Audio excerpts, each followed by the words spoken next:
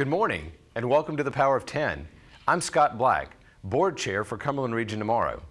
For over a decade, the Power of 10 has served the region as our premier forum to discuss issues related to growth and development. Cumberland Region Tomorrow is proud to serve as the host for our conversations. It is the keystone of our efforts to ensure that the region's communities are vibrant, prosperous places that provide the highest quality of life possible for all residents.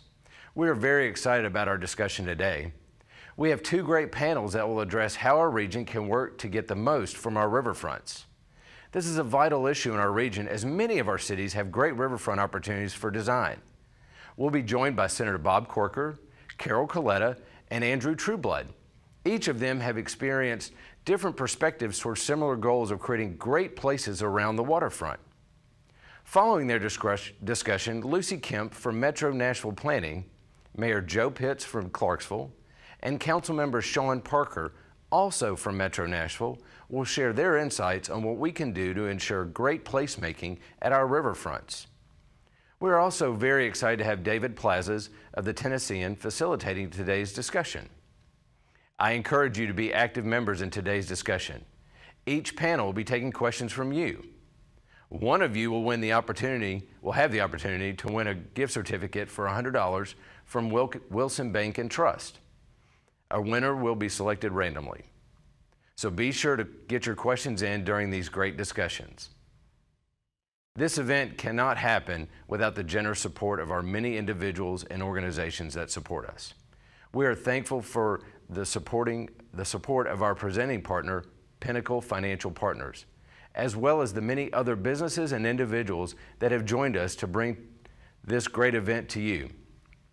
We are also incredibly grateful to StagePost Studios, whose expertise is making this production happen for you today. Now I'd like to introduce Reggie Smith, a member of our board at Cumberland Region Tomorrow and Senior Vice President of Pinnacle Financial Partners. Good morning and welcome to the Power of 10. Pinnacle Financial Partners is excited to once again be the presenting sponsor of this great forum. We choose to support Cumberland Region Tomorrow and the Power of 10 because we live here, work here, and we love this region. The conversations that the Power of 10 brings to the region help us make our communities better places for all residents.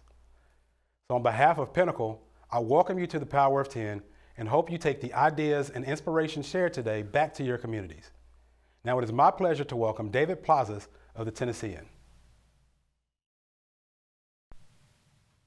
Welcome to Cumberland Region Tomorrow's Power of 10 Embracing the River. I'm David Plazas with the Tennessean and the USA Today Network to guide the discussion.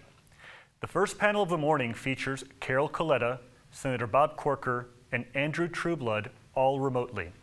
I'll read all of their bios, then turn it over to them for brief presentations, followed by a Q&A. First, Carol Coletta. Carol Coletta is president and CEO of the Memphis River Parks Partnership. She is leading the relaunch of a nonprofit to develop, manage, and program six miles of riverfront and five park districts along the Mississippi River. Most recently, she was with the Kresge Foundation, where she was a senior fellow in the foundation's American Cities practice.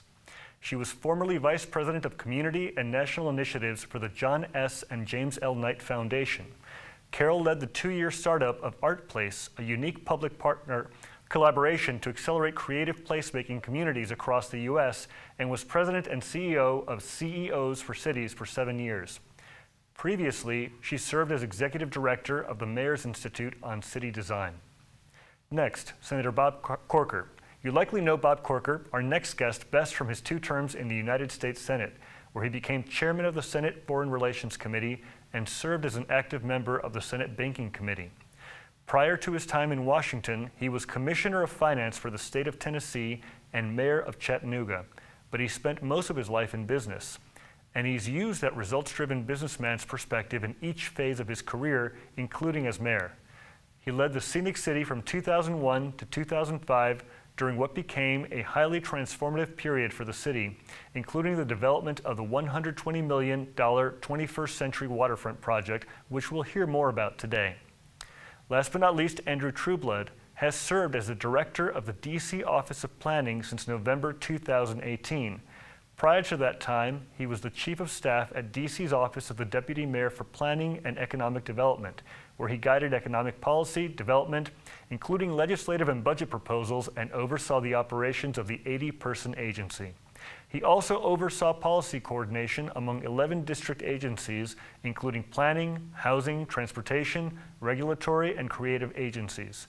Before joining the district government, Andrew helped start up the Consumer Financial Protection Bureau.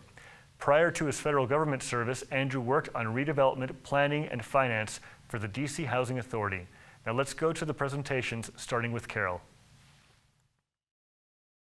Great, thanks so much. Um, Memphis has six miles of Mississippi riverfront adjacent to downtown and at the city's front door. And the, the Mississippi River at Memphis is at its widest and wildest. You stand in downtown, look across the river, and what you see is an Arkansas floodplain. And, and because the river rises and falls 55 feet a year, there are many times when you look across at Arkansas and you see nothing but water. It's it's an, an amazing sight. In 2017, uh, the city of Memphis and the Memphis River Parks Partnership, the organization that I lead, uh, commissioned a, a, riverfront concept to look at a hundred years of plans that had been done for the river, and to say what is relevant today, what can we use, and determine the priorities for what's next After transforming two former Confederate parks, um, each the very small parks, one square block each, um, into lovely, popular little parks that are now known as Fourth Bluff and River Garden. If you'll change the slide, yeah, the partnership now has two major projects underway. Uh, the first is the restoration of the historic cobblestone landing. It's the largest intact cobblestone landing in the country, seven point uh, four acres of stones uh, right at the city's front door, and um, and also we have under construction Tom Lee Park. It's a 31 acre um, park, uh, a piece of ground that was built on top of a Corps of Engineers uh, berm uh, that was uh, meant to stabilize the the bank, and that park that piece of land is undergoing a, a $61 million uh, renovation um, transformation, really, under the direction of internationally renowned uh, design firms Studio Gang and Scape. The park that we're building has a number of exciting features, including the Cutbank Bluff. Uh, Memphis sits on a very high bluff, the river's at the bottom, and there was no way for ADA access or even people who are a little bit physically challenged to get from the top of the bluff to the river. We're building the first ADA accessible ramp. It's well under construction. Um, and I mean, it looks just like the rendering. So we're really excited to, to get that piece of the park underway. That was uh, our sort of a, a first move that we made. Uh, and then once you arrive at the bottom of that uh, ADA ramp, uh, you'll come down to a, into the park at the civic entry, civic gateway, and a beautiful mist fountain um, at the park's entry. Then we have food and beverage pavilions. We have a uh, civic canopy that has 20,000 uh, feet. If you'll change the slide a couple of times, uh, civic canopy, uh, one more slide. Yeah, 20,000 square feet under roof. Uh, that will be, I think, a fabulous um, architectural structure and gathering place for Memphis and for the park. Uh, also, we have a playground that is designed by Monstrum. We're excited about that. I think this will be their sixth playground in the US. And it's very large, all ages, um, lots of fun, including adults, by the way. And then we have an exciting uh, new piece of uh, artwork. Um, in this section of the park that's called the Community Batture. Um, we'll announce that next week. We're really excited about that. It really recognizes and honors the story of the, the man whose name is on the park, Tom Lee, who in 1925 saved 32 people from drowning in the Mississippi River when he could not swim himself. Uh, but that's going to be, that will memorialize his story. The Habitat Terrace, which is the southernmost part of the park, today not available uh, to anyone. Um, we'll have outdoor classrooms, a pollinator lab. It's very, it's a very in, in environmentally um, uh, unusual uh, park to exist right at a city's front door. Very excited about that. A log scramble, sound garden, lots of things going on there, and really taking advantage of out, outdoor classrooms. And all of that is organized around three big festival lawns uh, that are there uh, to house festivals and. Um, uh, ongoing. So l- let me say that Tom Lee Park and the Cobblestone Landing will both be completed in mid 2023 and uh, and they both anchor what is a fast growing uh, riverfront district in Memphis. Uh, as we've been building this park, we've also seen the rise of, and if you change the slide, uh, hotels and uh, and residences uh, just at the top of the bluff. So, right where we're building that beautiful new cut bank bluff, uh, this is now sitting right at the top and with two more hotels to come. So, lots of activity in this riverfront district. Um, and by the time we're finished, Memphis will have remade 26 blocks of riverfront in uh, in eight um, eight years. So so let me just uh, say, just to wrap up real quickly, uh, I, just what have we learned? And we could talk about this more in the conversation. But you know, if it were easy, like uh, uh, Pitt Hyde always says, if it were easy, someone else would have done it. And it's not easy to do this work. Uh, public space, uh, second, public space deserves great design, great management, and great program uh, so that people with financial options about where they want to spend their time will spend time there. And people who will never get that Disneyland vacation will also spend time there. Mixing people in space, same time, same place is very hard and really important.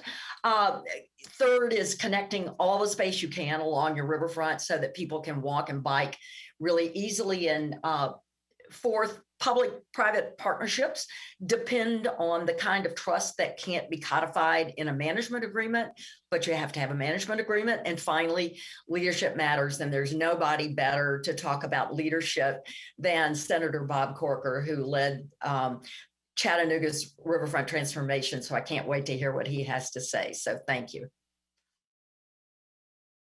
Senator bob corker for his presentation well, thank you, David, and I'm so honored to be here with Carol, who's most impressive, as is Andrew, and I look forward to, to his presentation. Um, I, am glad to be with you. It was a great privilege, I think all of you would know, to be a United States Senator for 12 years, but as I've said many times, nothing more rewarding than being the mayor of a city and being able to work on issues like this. And you know, we all learn from other people. And what Carol, the outstanding job she's done in Memphis and Andrew in Washington, and our little efforts here in Chattanooga are what were unique to us. Each city and each area is different, and they have to build on their strengths uh, in their own ways. And so we learn from other people, just like uh, maybe some people are doing today. Our city went through a visioning process in 1986. And it was a great moment in our city's history. And out of that, we envisioned all kinds of things happening in our city we laid out 16 goals. Uh, I was a young business person in my early 30s during that period of time, and and uh, what a great process to be a part of. One of the things was connecting with the river, and out of that uh, came a, a freshwater aquarium in 1992. And so, all across the country, people talked about Chattanooga uh, and how we had reconnected to the river. Uh, in 2001, I, I, can't believe I even did it, but I'm so glad I did. I ran for mayor of Chattanooga and uh, was a civic leader in our community.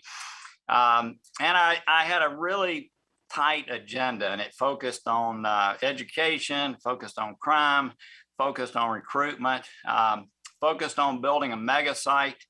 Uh, to, to house something like Volkswagen, which ultimately happened. And I'm going to digress for a moment and tell Carol I could not be happier for her, for her part of the state, for our whole st- state in general with this new Ford announcement. I was just uh, so excited when the governor called to let me know what was happening. And it's going to be transformative for that part of the area. But we wanted the same here and accomplished it.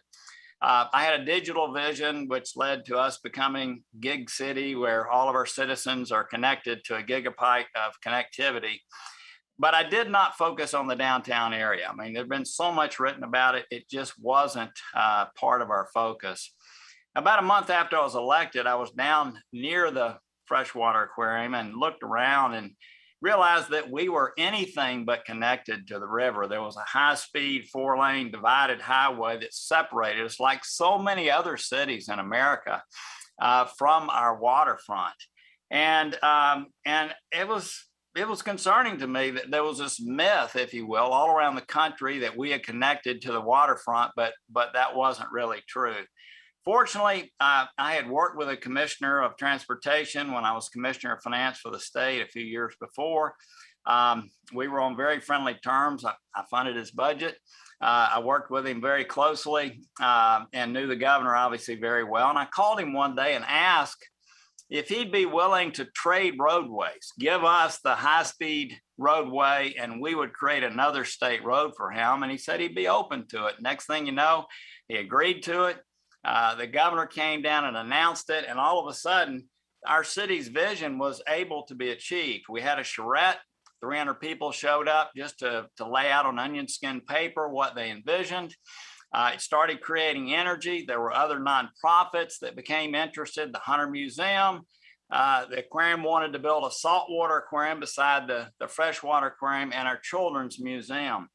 And so a year later, uh, I announced at our first annual State of the City that we were going to build the 21st century waterfront. We were going to have it done in 35 months. It was going to be 100% paid for. I'd come in from behind other people in the past and ended up paying for dreams that they'd envisioned and, and wanted to make sure that our city would not have any outgo after this was completed. And so um, we brought in Hargreaves and Associates.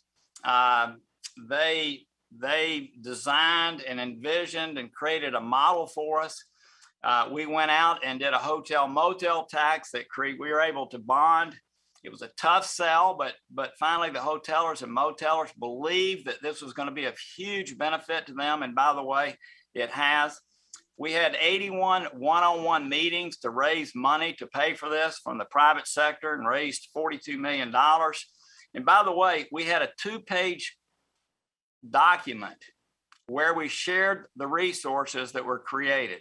19 and a half million went to the Hunter Museum. Three million went to the Children's uh, Discovery Museum.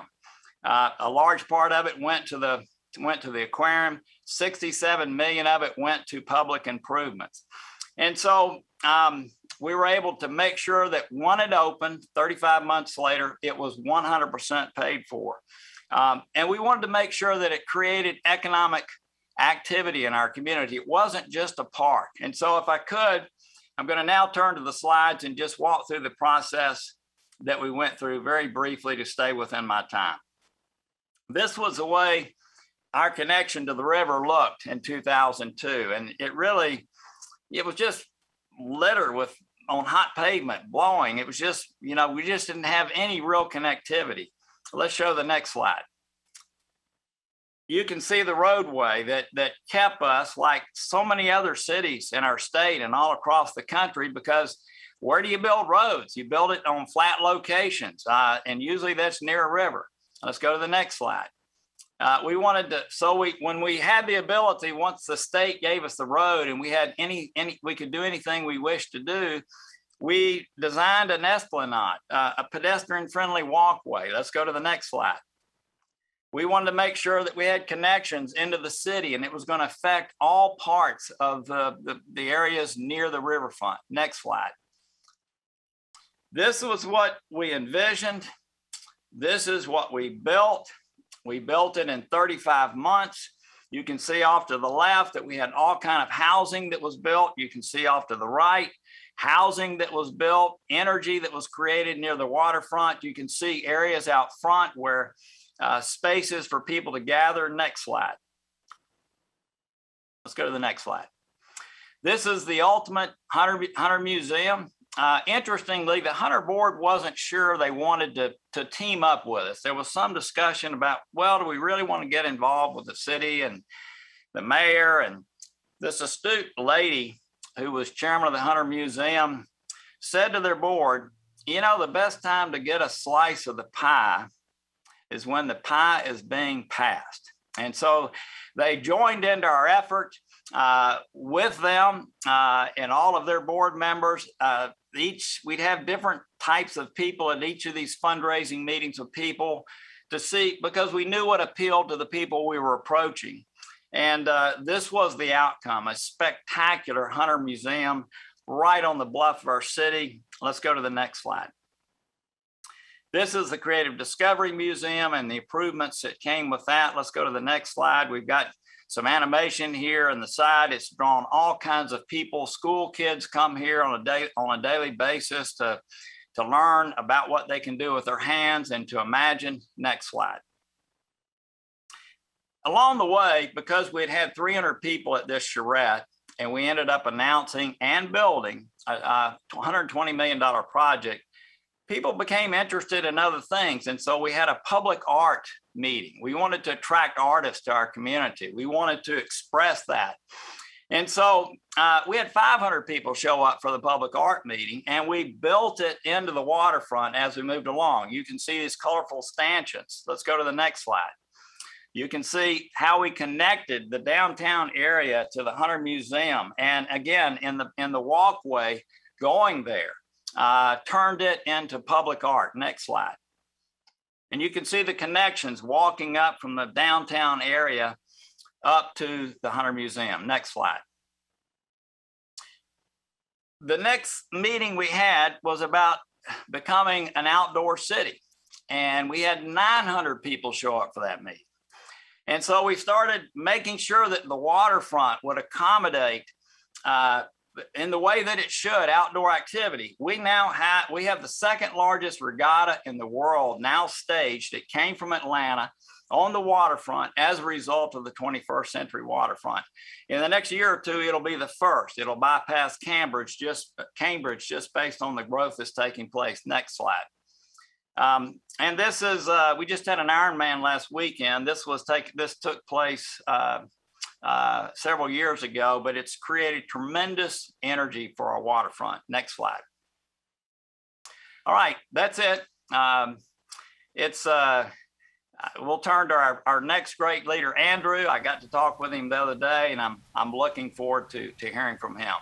But let me just say this: mayors and people like Carol and people like Andrew have the ability to affect their communities not just for decades, not just for generations, but for centuries. And so the work that they do and people who help them really are shaping cities. Unlike legislation in Washington, these are things that actually affect communities for many, many, many generations and centuries. And my hat's off to both of them. Thank you very much, Senator Corker. And now let's turn to Andrew Trueblood for his presentation. Thank you.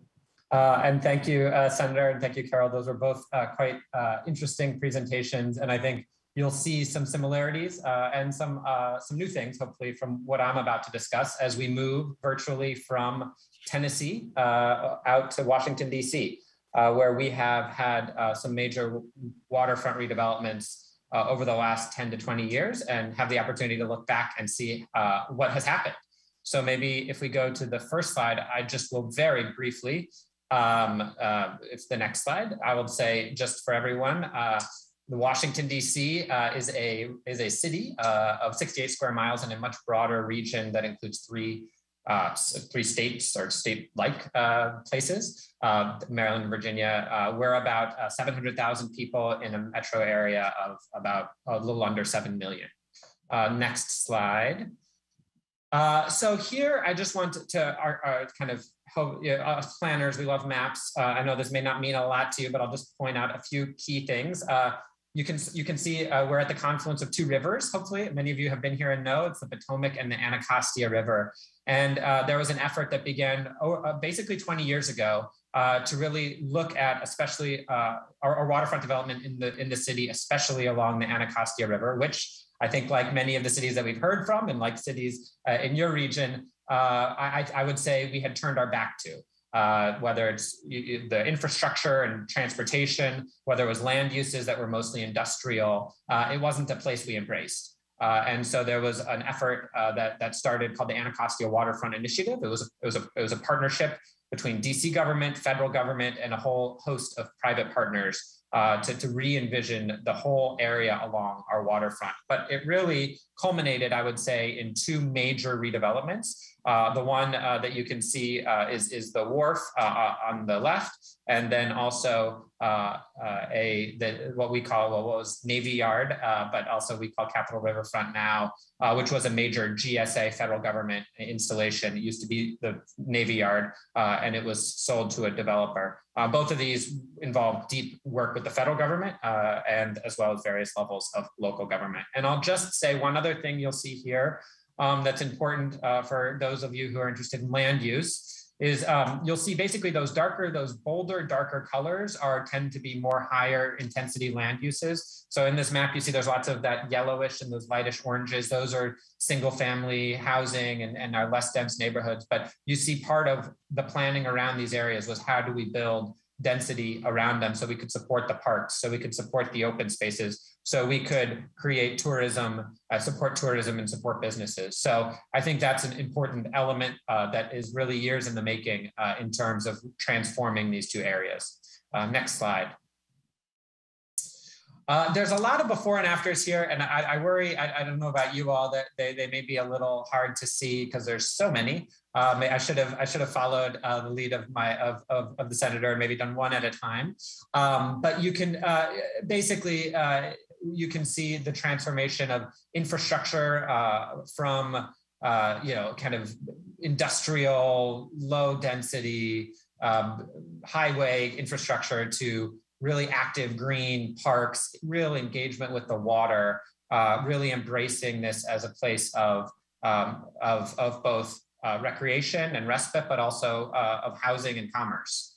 Uh, so the, both of these areas, I think, are really kind of signs of, of that. And, and both of them, it's worth mentioning, involve um, major redevelopment deals, uh, similar to, as, as the senator said, major public-private partnerships where our private partners brought in a great deal of money for uh, mostly, yeah, for the construction. Uh, we would sometimes fund some of the infrastructure that was needed, um, but mo most both of these were very uh, heavily reliant on, on the private sector. Um, it's also worth mentioning, uh, both of these did have affordable housing requirements. Um, about 20% of the housing produced in both uh, Capitol Riverfront or in, in the Navy Yard, uh, the yards, uh, and at the wharf uh, had to be affordable at, at various uh, affordability levels. And I think that's something worth mentioning. Uh, it's important to recognize these deals were signed in the mid 2000s. Uh, so that was very progressive then. I think now we've learned even more and we, we found other mm-hmm. ways to find even more ways to support more affordable housing in our redevelopments moving forward. Next slide, please. So I just want to take a moment. Uh, you know, we could talk about uh, how it worked and all the deals and all the Q and A in the Q and I want to take a moment to think about equity, uh, and I know equity is, is, is on many people's minds. Uh, especially concerns about gentrification and displacement. And I think these tell really interesting stories uh, both of these areas. So once again, I'm, I'm going to this map, which I know very well, and I recognize many of you may not, but you'll see uh, there's a dark blue area, which is the Navy Yard, the yards, uh, which has seen uh, a, that, a huge increase in population over the last 10 years. This is some of the newest census data that we have. Um, and, and you see actually, you see the numbers here, uh, almost 300% increase uh, over the last 10 years of residents. the wharf, not, not as great, only 140%. Uh, but you can see uh, both of them have had have had have been major drivers of our growth in the city.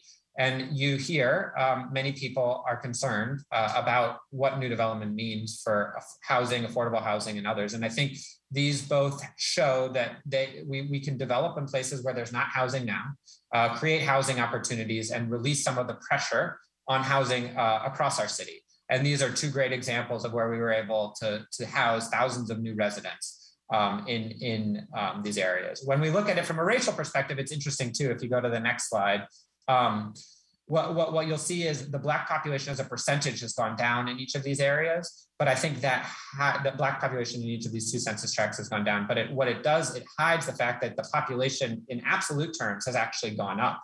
It's just been dwarfed by the non-Black population increase in these areas. So I think uh, as we think about racial equity uh, in these areas, it, it, there, there's uh, you know there's certainly lessons to be learned. I think we can continue. We are doing more and trying to make sure that we're even more thoughtful as we continue to redevelop. But I think sometimes you hear uh, you see, I, I, see pictures of these areas and, and as the poster child of, of gentrification or displacement.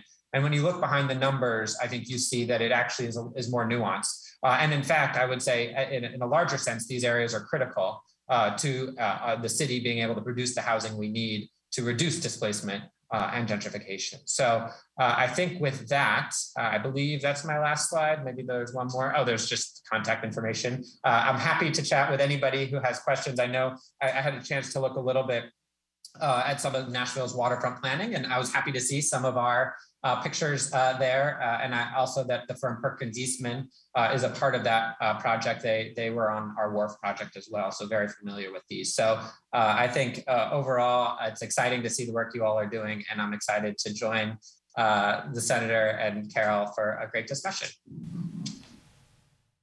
Thank you, Carol Coletta, Senator Bob Corker, and Andrew Trueblood for these presentations full of insight and wise counsel. Now let's go to the Q&A. One of the things I'd like to uh, ask the panelists about has to do with why cities turned their back on rivers in the first place and what led to the reversal of this. Uh, perhaps if we could start with uh, Andrew and then uh, ask the other panelists.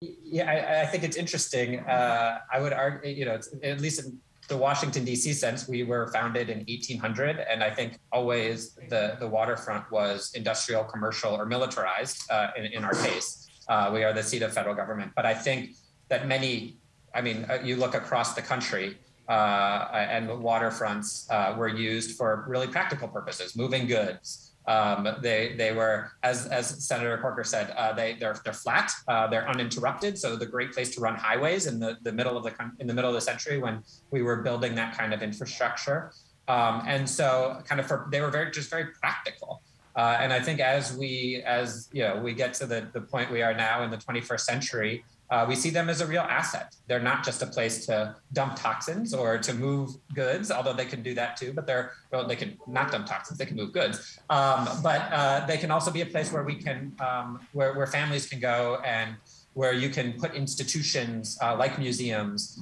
uh, and and become an attraction. And I think that as we move to places cities that become uh, more about attraction and places you want to be, uh, that is that I think you see that movement across the country. Thank you so much, uh, Andrew. And uh, to Senator Corker, I'd love to uh, return to you. You talked about all the charrettes and planning meetings and so forth. How did you turn that vision? How did you help people see what you saw uh, for the plan? You know, um, it was just so easy. Um, I remember, uh, you know, announcing at the first state of the state of the city, if you will, and and people thought it was a throwaway line that surely we weren't going to do this in 35 months with no drawings, no approval by tribal organizations, the TVA, and all of those kind of things. But uh, David, here, here's what I, I learned this from a gentleman years ago. Um, he was actually a liberal Democrat who built Columbia, Maryland. And he taught me at a young age that Corker, whatever you do in life, do it with boldness, have a bold vision um, and if you just get 80% of the way there, then you still accomplish so much more than if you have an incremental vision. And David, there was something about announcing that we were going to do it in 35 months and and then people believing it and what happens so much with uh, city plans is you create this plan and it sits on a shelf and there's no energy behind it. And uh, it was just amazing. I mean, the the resistance by the Hotel Motel Association just disappeared. Eh, not at first, but disappeared once they believed that this was really going to happen. Uh, people that had never given money uh, to efforts like this uh, were writing, you know, were agreeing to give $250,000 towards this effort because they thought it was going to happen during their lifetime. It wasn't something that was going to be, you know, 25, 30 years from now, maybe never happen. So I would just say to folks, look, there, there's a lot to overcome in these things as, as these other far more professional people who know so much more about it than I do have, have know and have, have, you know, experienced. But there's for you know being a mayor is to me a civic job it's not a political job. And to have a bold vision just brings so much in the way of resources together. I mean the agreement that we had on a 120 million dollar project was two pages. Two pages where we were going to share this this resources. There was never a de- debate never a disagreement um, communities respond to to bold vision. So uh, I don't know if I answered the question properly, but but but uh, throw deep, and uh, you know the energy, the energy that you create will be beyond belief if people believe you're actually going to execute. And and TVA sent 13 people to our first meeting, unbelievable, just because they really believed this was going to happen and they wanted to be a part of it. The tribes worked together unbelievably uh, because we created a passage. Anyway, it's, I'm, I'm stopping. It's, uh, to me, it's all about visioning and leadership and, and every community has it. Um, I think just, uh, yeah, again, be bold in what you do. Well, thank you very much, Senator. And to the audience, we encourage you to submit your questions. Uh, we definitely want to have a robust discussion. I do have a question for Carol. Uh, it, some of my research has shown that it was only in the uh, 1970s when Memphis really started to reactivate its downtown. Of course, we had the tragedy of Dr. King's assassination in the 60s, but since that time, there have been decades of of development and ideas and plans. Could you talk about what worked and maybe what didn't work to help us get some of that context? uh, on downtown Mhm. more broadly. Yes. Um, yeah.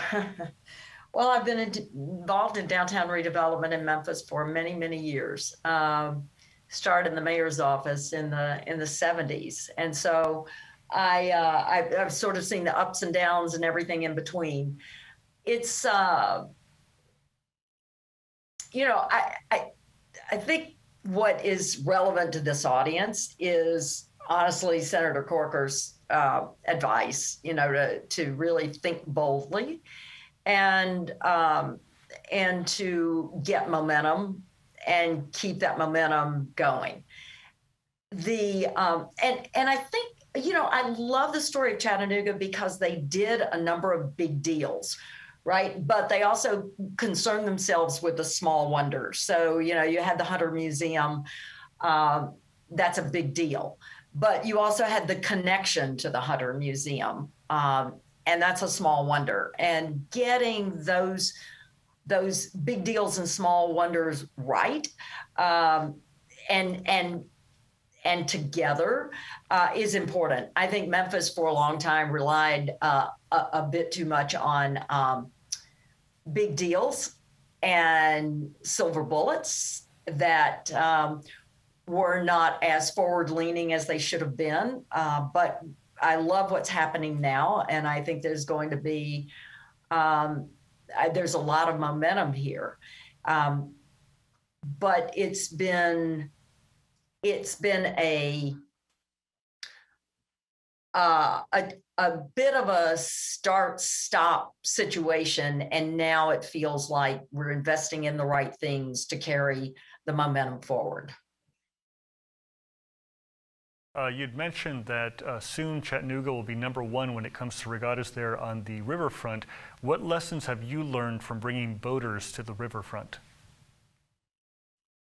Um, well, I, I mean, as Andrew was saying earlier, I mean, it's, uh, you know, look, cities that are on the river are there, or the, the cities exist because of the river, right? And then over time, you know, the economy changed and you no longer have these, you know, smaller vessels coming into the city post. It was spread out. And by the way, as we know in Nashville and certainly uh, in many communities, you know, industry ended up locating on the river. You know, there was ways for there to for them to deal with their effluent activities. And so all of a sudden, our, our, they became clogged. But there's nothing like there's nothing like reconnecting to the river to to really reestablish a sense of place and and create a place that people just want to be. I mean, you you can go down to the waterfront and just see all types of activity. Now, these are are living mechanism, living organisms, okay? And they've got to continue to be looked at and reinvested. Uh, we wanted to become the, the, the number one city in America as an outdoor city, and I honestly we've kind of done it, uh, and in a way. And I know other cities would debate that, but but to be able to have these events uh, down on the waterfront, to have thousands of people from all over the, over the country show up, it's just it just adds so much energy and enthusiasm. And then and then by the way, David, I mean a big part of health, isn't it? Is people doing things outdoor and kayaking and and rafting and you know so so anyway i'm i'm, I'm very enthusiastic very enthusiastic about uh, all of us not just embracing the river but embracing the outdoors and um, it's just created a venue for us that uh, has been phenomenal again atlanta think about it the folks who had the atlanta um, regatta in their own community moved it to Chattanooga because of uh, of us embrace, embracing the the city. And so many young people come here. Um, let me just say one more thing. There's something about that era of coming back to the waterfront.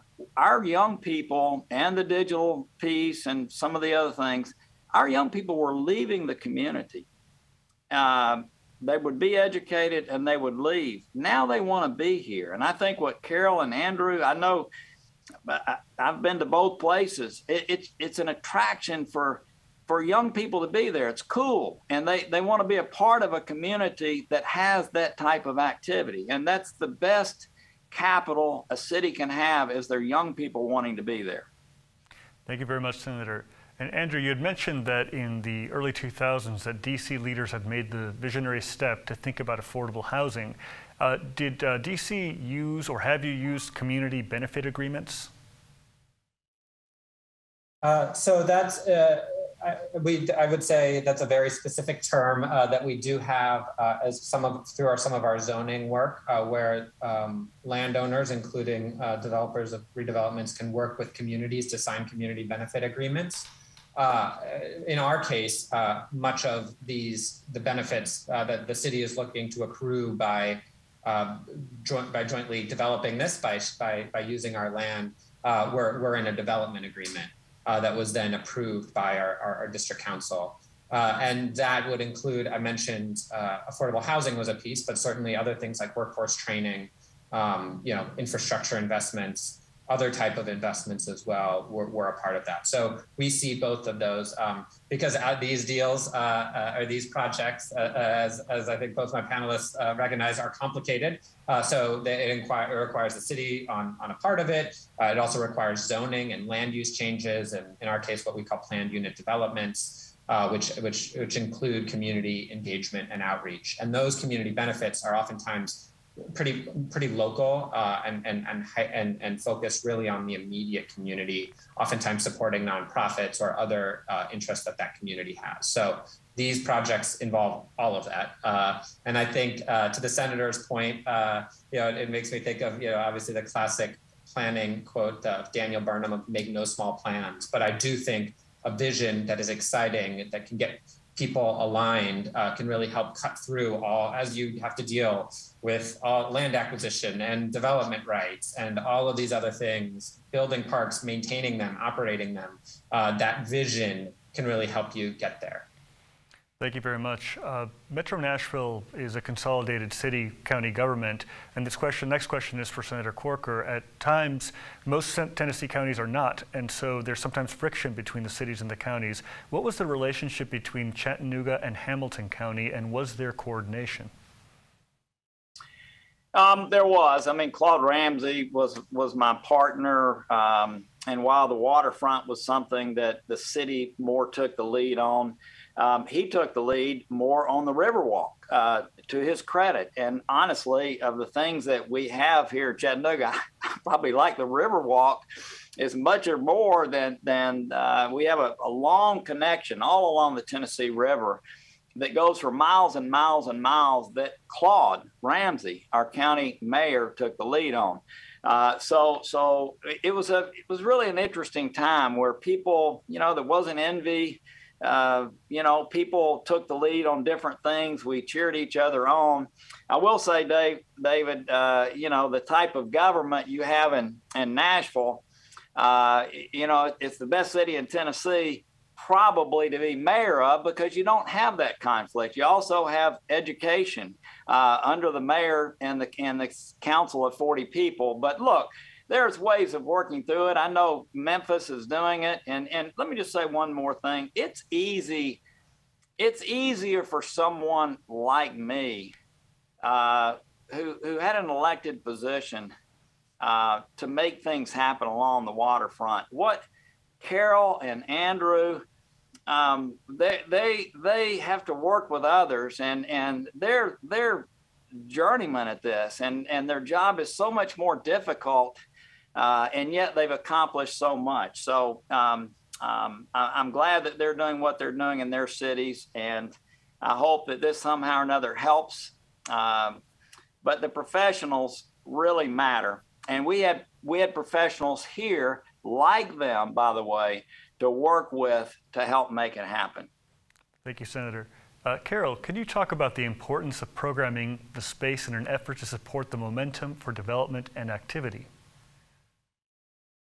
Yeah, programming is, uh, you know, really important. And again, uh, Andrew mentioned, you know, talked about equity uh, explicitly.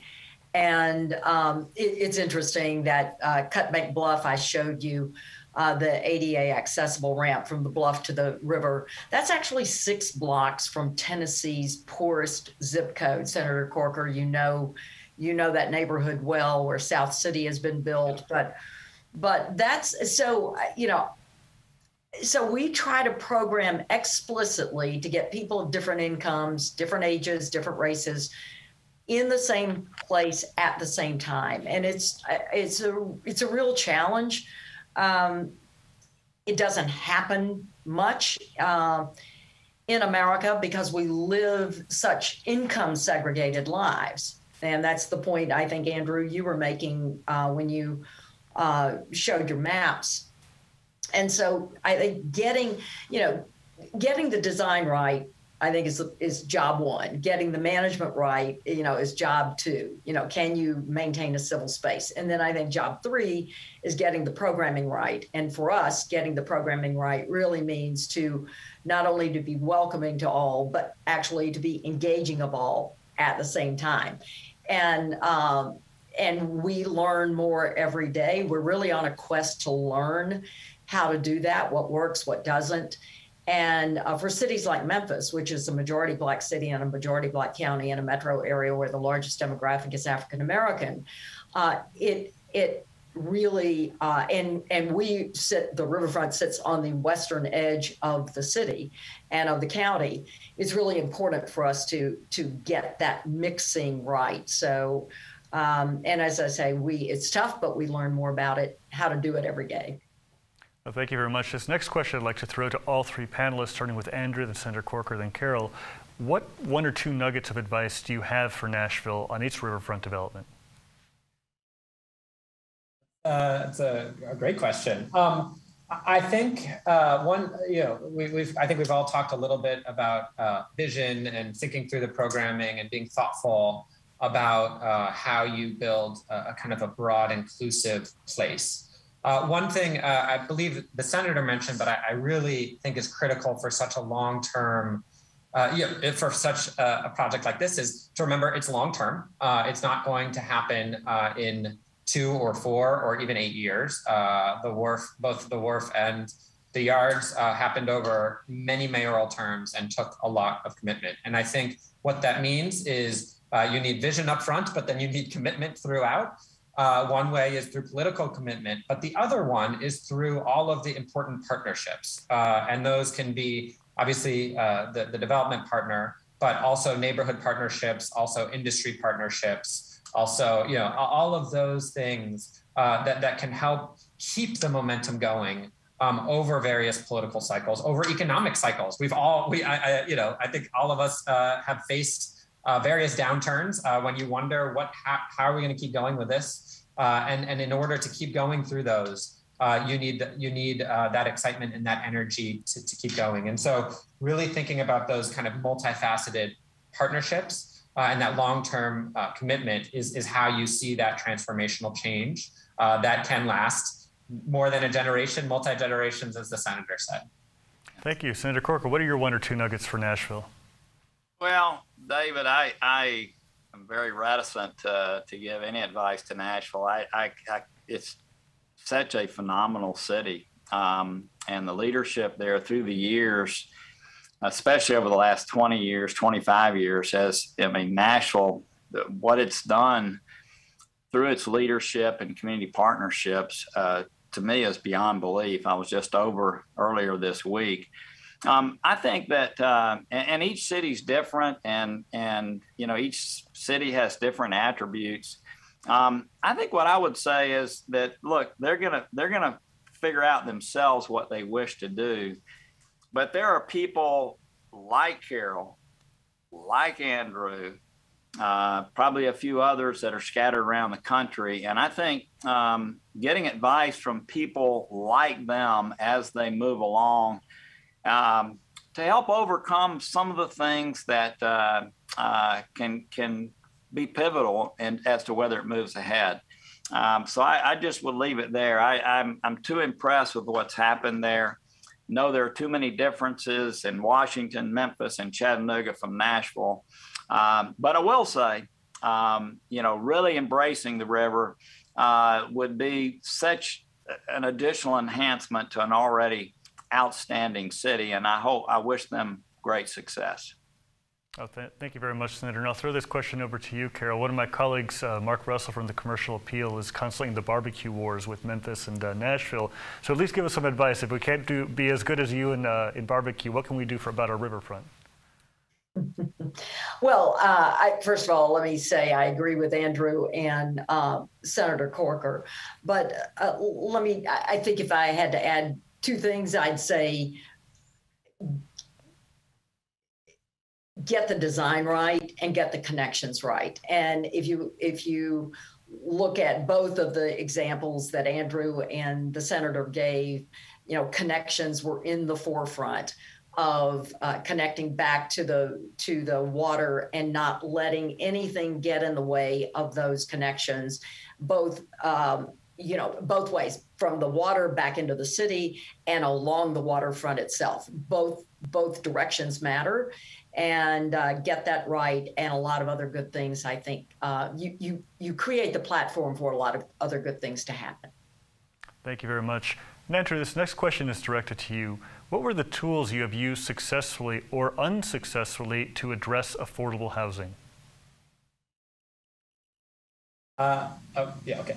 Uh, I think uh, when it comes to affordable housing, I feel like we've tried to use every tool uh, across uh, the spectrum. Uh, you know, as we look at riverfront developments like this, I think the biggest tool that we had was the land that we had acquired or had been given, or that the federal government had. Uh, and that is the, really a great way to subsidize the housing because you can lower the land cost uh, and you don't have to put in money. you just maybe don't sell it for as much money.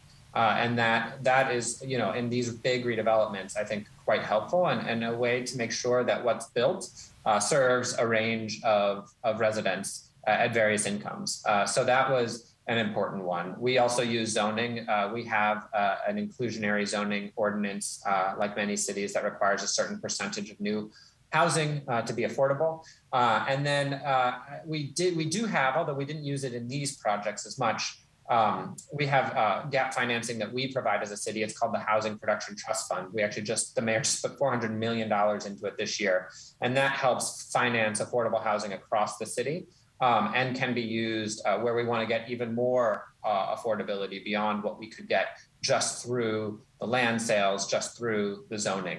Uh, so where we're looking to provide deeper affordability for our lowest income residents or a greater percentage beyond 20, up to 30 or even 80%, uh, that's where we use uh, that, that tool of funding. Thank you very much, Andrew. This next question is for both Carol and Senator Corker. Most of the cities in Tennessee are smaller than Memphis and Chattanooga. So how is land assembled in your cases, and do you have any advice for the smaller cities and towns? Carol? Um, not really, um, in that we have been fortunate in that we have not had to assemble land along our waterfront. I mean, that's the interesting thing. The city owned the land and it didn't have to be cleaned. And it gave us a great advantage. It's it's and you know when you think about that, it's amazing it took us so long to to get to it. Um, so so for for the waterfront, we've not had that challenge. And I'll, I'll save you time for another uh, question. Um, in that uh, we we were like Carol, we were very fortunate. The land mostly was in friendly hands. We uh, uh, we did have one piece that was uh, somewhat difficult, but but I, I don't have any advice because we also were pretty fortunate in that regard. Oh, thank you very much. This next question is for Andrew and Carol. Uh, beyond construction money, where have operation funds come from? Andrew? Uh, that's a that's actually a great question. I, I think um, so often it happens less now, but we would see great plans, and it's always exciting to invest in all of the construction and and all of that. It's easy to put in. It's easier to put in capital money, uh, and then uh, who's operating and maintaining and making sure you know really tending to these places for the people. Uh, so moving beyond the sticks and the bricks of the people, I think that, that that's one of the things that you've heard from across the panel panelists today. Um, and we have a couple of important models. So um, in the yards, we actually created a business uh, improvement district called Capital Riverfront. Uh, and so while the District of Columbia government paid for the parks, it's the bid uh, that is funded by businesses in the area uh, that actually um, kind of maintains and operates the parks. We put in a little bit of money as the District of Columbia government, but they do wonderful programming, seasonal programming for kids, for adults, uh, they, they, they also can be a little bit more flexible in doing things with alcohol, for example, and a little bit more nimble uh, than sometimes we could be. Uh, so that is a great example. Now at the wharf, which is all owned and developed by a single developer, uh, that that is all done by them. They program it themselves. There's actually a bid in that area, but the programming along that waterfront stretch is done by the developer who still owns all of these buildings, and they want to make sure that the Intercontinental Hotel is full of resi- is full of, uh, to, of, of, visitors, and that the 930 Club, the Anthem, uh, the, the, the the venue there is full of people going uh, and, and and seeing shows, and that the restaurants are full. So they have an incentive to really place make is the term that we use in planning, uh, uh, and and and and invest in in those uh, in those places. So in, in, you know, from the practical sense, we sign cooperative agreements and management agreements, funding agreements, and all of that, and we can talk about that. But I think from a higher level, really thinking about who, how you fund that operating and ma- operations and maintenance, and using really using the benefits of the new development, uh, using the extra tax revenue or additional fees that you might be able to charge to fund that is something that should be in the forefront of any planning and development. Yeah, I wish we had that flexibility. Um, because you know we we start with bids um, and uh, you know hotel motel tax is probably off the table for us because they're already being maximized for other purposes. Because we manage what is you know what was public park property we've got a few other things but uh, we the city actually when it created this organization or helped you know, agreed to the creation of this organization 20 years ago. It's a 501c3 that operates with a very dated management agreement with the city of Memphis, um, which uh, for years they they basically said, "Here's what we're funding. Here's what we're spending to keep the riverfront up. We'll give that money to the to the partnership." Well, the problem is that money never increased over many, many years, right? Uh, it has increased a couple of times since then, and we appreciate it. But we that's one of the things we're going to work on over the next couple of years now is um, we had to do some things to give the organization new credibility, and then that gives us a chance to renegotiate the management agreement.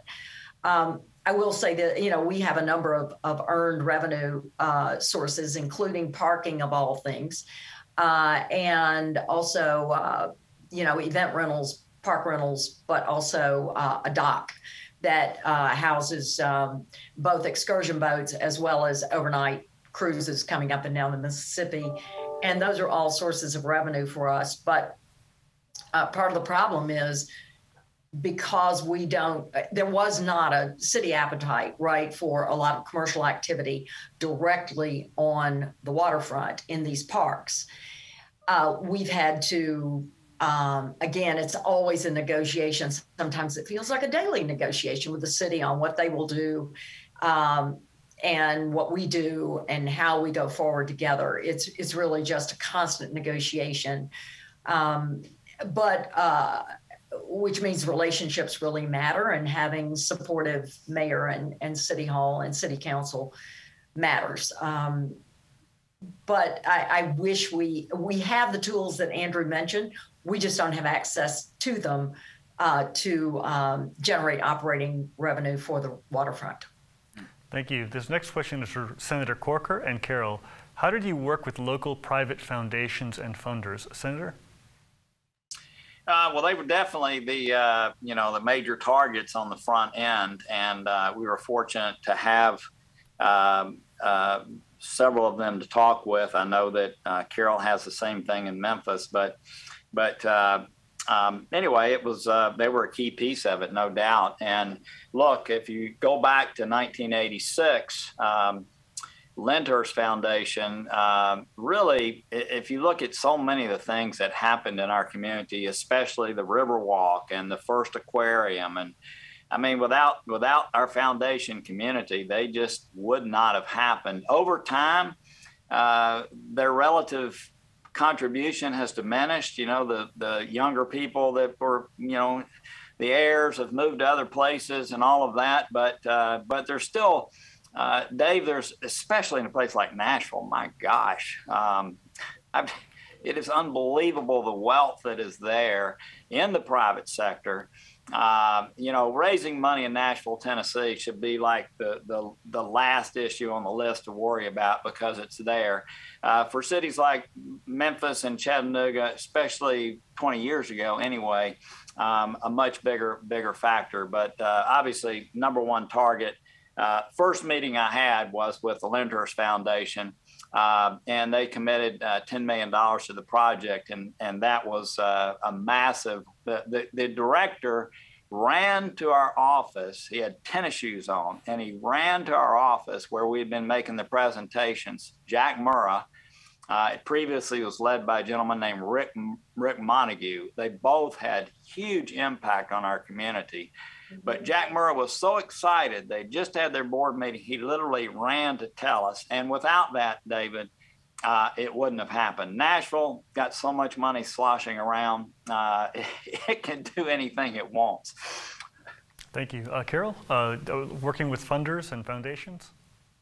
Yeah, not much to add there. We, we have a wonderful partnership with foundations, with corporations, with individual donors, with city, uh, county, and state. Uh, we got the county put first money into um, the riverfront ever. Uh, they don't own those parks, don't control those parks. It's great to have uh, the county as a as an equal partner uh, with the city, and they, you know, so again, it's just a um, everybody's seeing this as good for the community and wanting to be a part of it, not seeing it. At, and we have actually a pretty even, uh, equal partnership uh, on the latest project we're doing. That hasn't been the case on all of them, but this one, I think, uh, you know, lent itself to that kind of public-private partnership that was quite equal. We have a question from an undergraduate student interested in knowing what they and other students or young people can do to have an impact. So I'll throw this out to the panel as a whole. If anyone would like to pick that up, what can young people do to have an impact on riverfront development? You know, I, would like to start because we've done a lot of polling around, uh, again, the latest project we're doing.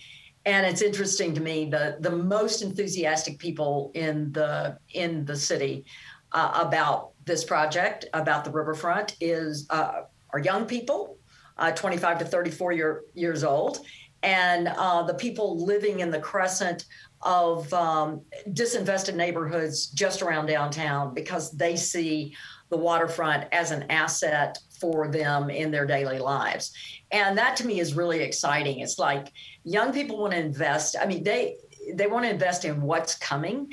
And I think the more you make your voices heard, the more involved you get. Give a little bit of money. If there's a, I mean, we have like visionary donors who are at a thousand dollars. They can pay that over three years. They can pay it monthly.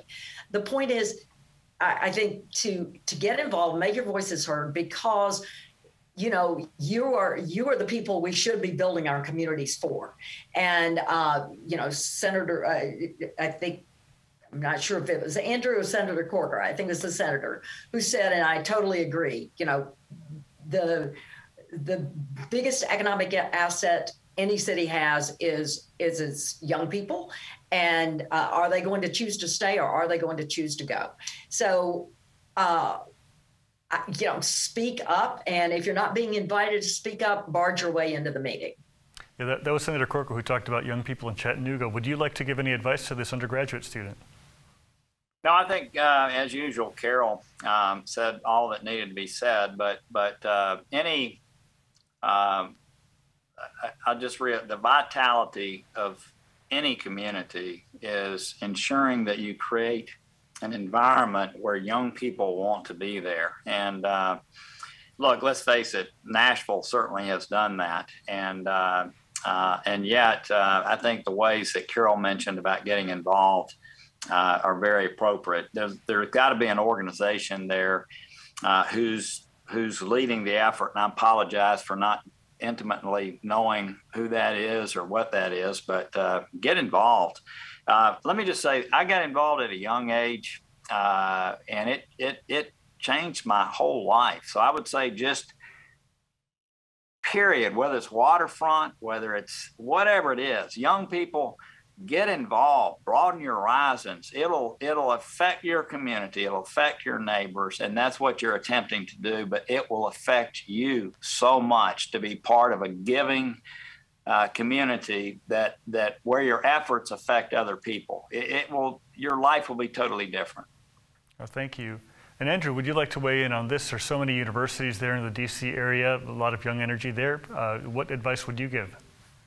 Sure. Yeah. I mean, I agree uh, with everything that was said. Uh, I will say it's interesting, you know, when we do things like community engagement, uh, some of the, the, the groups that don't show up are the young people, right? And the, even though what we're trying to plan for is for them and their children, uh, and I think some of the headwinds we get are oftentimes from people who maybe uh, are, are, less interested in that change and that future.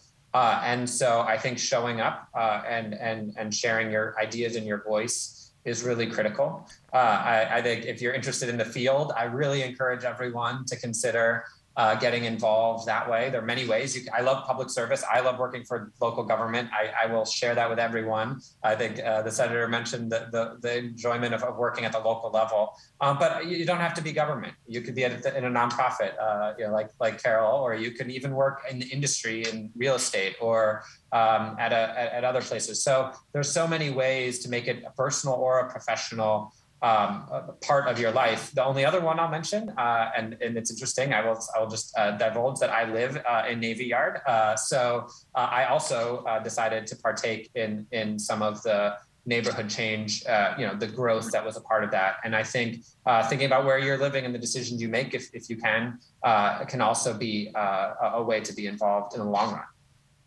Thank you very much. You know, these next two questions are about development, and I'll start with the first one. This is addressed to any of the panelists. Is there a mix of development elements, housing, commercial, recreational, that is needed to have a successful riverfront? Maybe we'll start with Andrew, since you've talked about Navy Yard and, and the wharf. Sure. I, I mean, I think uh, I, I, don't. Uh, it's, it's hard to say generically. Um, I think different riverfronts have different needs and values. Some are much more focused on entertainment. Uh, some are um, more focused on other than you know. I think I think there needs to be some level of entertainment and engagement and public space. Uh, but I, I think we've seen some. But the wharf is a great example where there is office, there is residential, there is hotel. Um, there is all there's all non big national foundations are, are, are there now, and so uh, I think that makes it vibrant. It gives it uh, liveliness uh, all the time. You know, I think one of the challenges you have about rivers that gets back to a comment the center made is they're a barrier. So you don't necessarily have access to it from all directions at all times. They're oftentimes at the end of a space. So people have to want to go there. They're not in the middle necessarily. Uh, and so um, thinking about how you make it uh, vi- vibrant um, oftentimes does involve a mix of uses. And you want people who live there, you want people who work there. Um, but I don't think every place needs all of that. Um, some of them can be purely recreational. Um, and so it just depends, I would say. Senator, you mentioned in your presentation, you, uh, we saw uh, in the slides a mix of housing, we saw the Hunter Museum, we saw other things. What was that, that perfect mix for you? Yeah, we look every every urban area that uh, seeks to thrive focuses on their their city uh, being a 24 hour live, work, and play environment. And so the waterfront is a part of making all of that happen. For us, the, and by the way, uh, I didn't show it in the slide, but Blue Cross Blue Shield built their headquarters right next to the riverfront. And so what you want to do, I think, is while it may not be in the original, the, the first plan may focus on housing and it may focus on recreational and it may focus on arts everything you do as far as connections that both Andrew and Carol have talked about, you want to make sure that it's going to enhance all of your city. It's going to help make sure that your city is a 24 hour live work and play environment and so whether it's a particular a particular tract of land might not itself lend itself for that particular for a particular use you want to make sure that it enhances all of that in your city um, and I, I know that nashville uh, you know, easily uh, can make that happen with all the assets they have. Thank you. And Carol, I'd like to throw the second part of the question, which is what was the spark that drove the riverfront development efforts in your community? Well, keep in mind we've been working on plans for the riverfront for 100 years I, I, think the i mean in some ways every city in the world right the, with the waterfront has begun to take and capture that for pedestrian use, um, you know, as the old industrial uses went away. So that, you know, I mean, the, the time was right. Uh, again, I, I will, as you know, just a note, again, we have a very different riverfront condition than uh, other cities with that river rising and falling 55 feet a year. So it is, uh, it, you know, it's it's a bit of a different challenge, and uh, we also have the challenge that uh, Senator Corker was smart enough to solve, and that was uh, very cleverly, uh, is that that road condition that separates the city from the riverfront, as well as a bluff condition.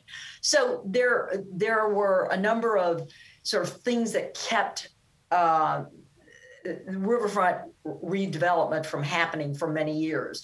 But um, you know what what I think finally it's in a weird way, you know, we had these two Confederate parks. We have Confederate Park and Jeff Davis Park, one with a with a statue of Jeff Davis, not the Jeff Davis Park, by the way. Um, and when when getting rid of that statue and those Confederate names, in some ways, kind of freed up uh, the city from sort of being captured by that old paradigm that that defined those riverfront parks and allowed us to rethink them. And all credit to jim strickland our mayor of the city who uh, made that happen in a very clever way. So so once that happened we were able to take two relatively small pieces of property rethink them and reimagine them. And we could do it with a little bit of money that was um, uh, augmented by a national initiative that that actually I worked on when I was at the Knight Foundation called Reimagining the Civic Commons.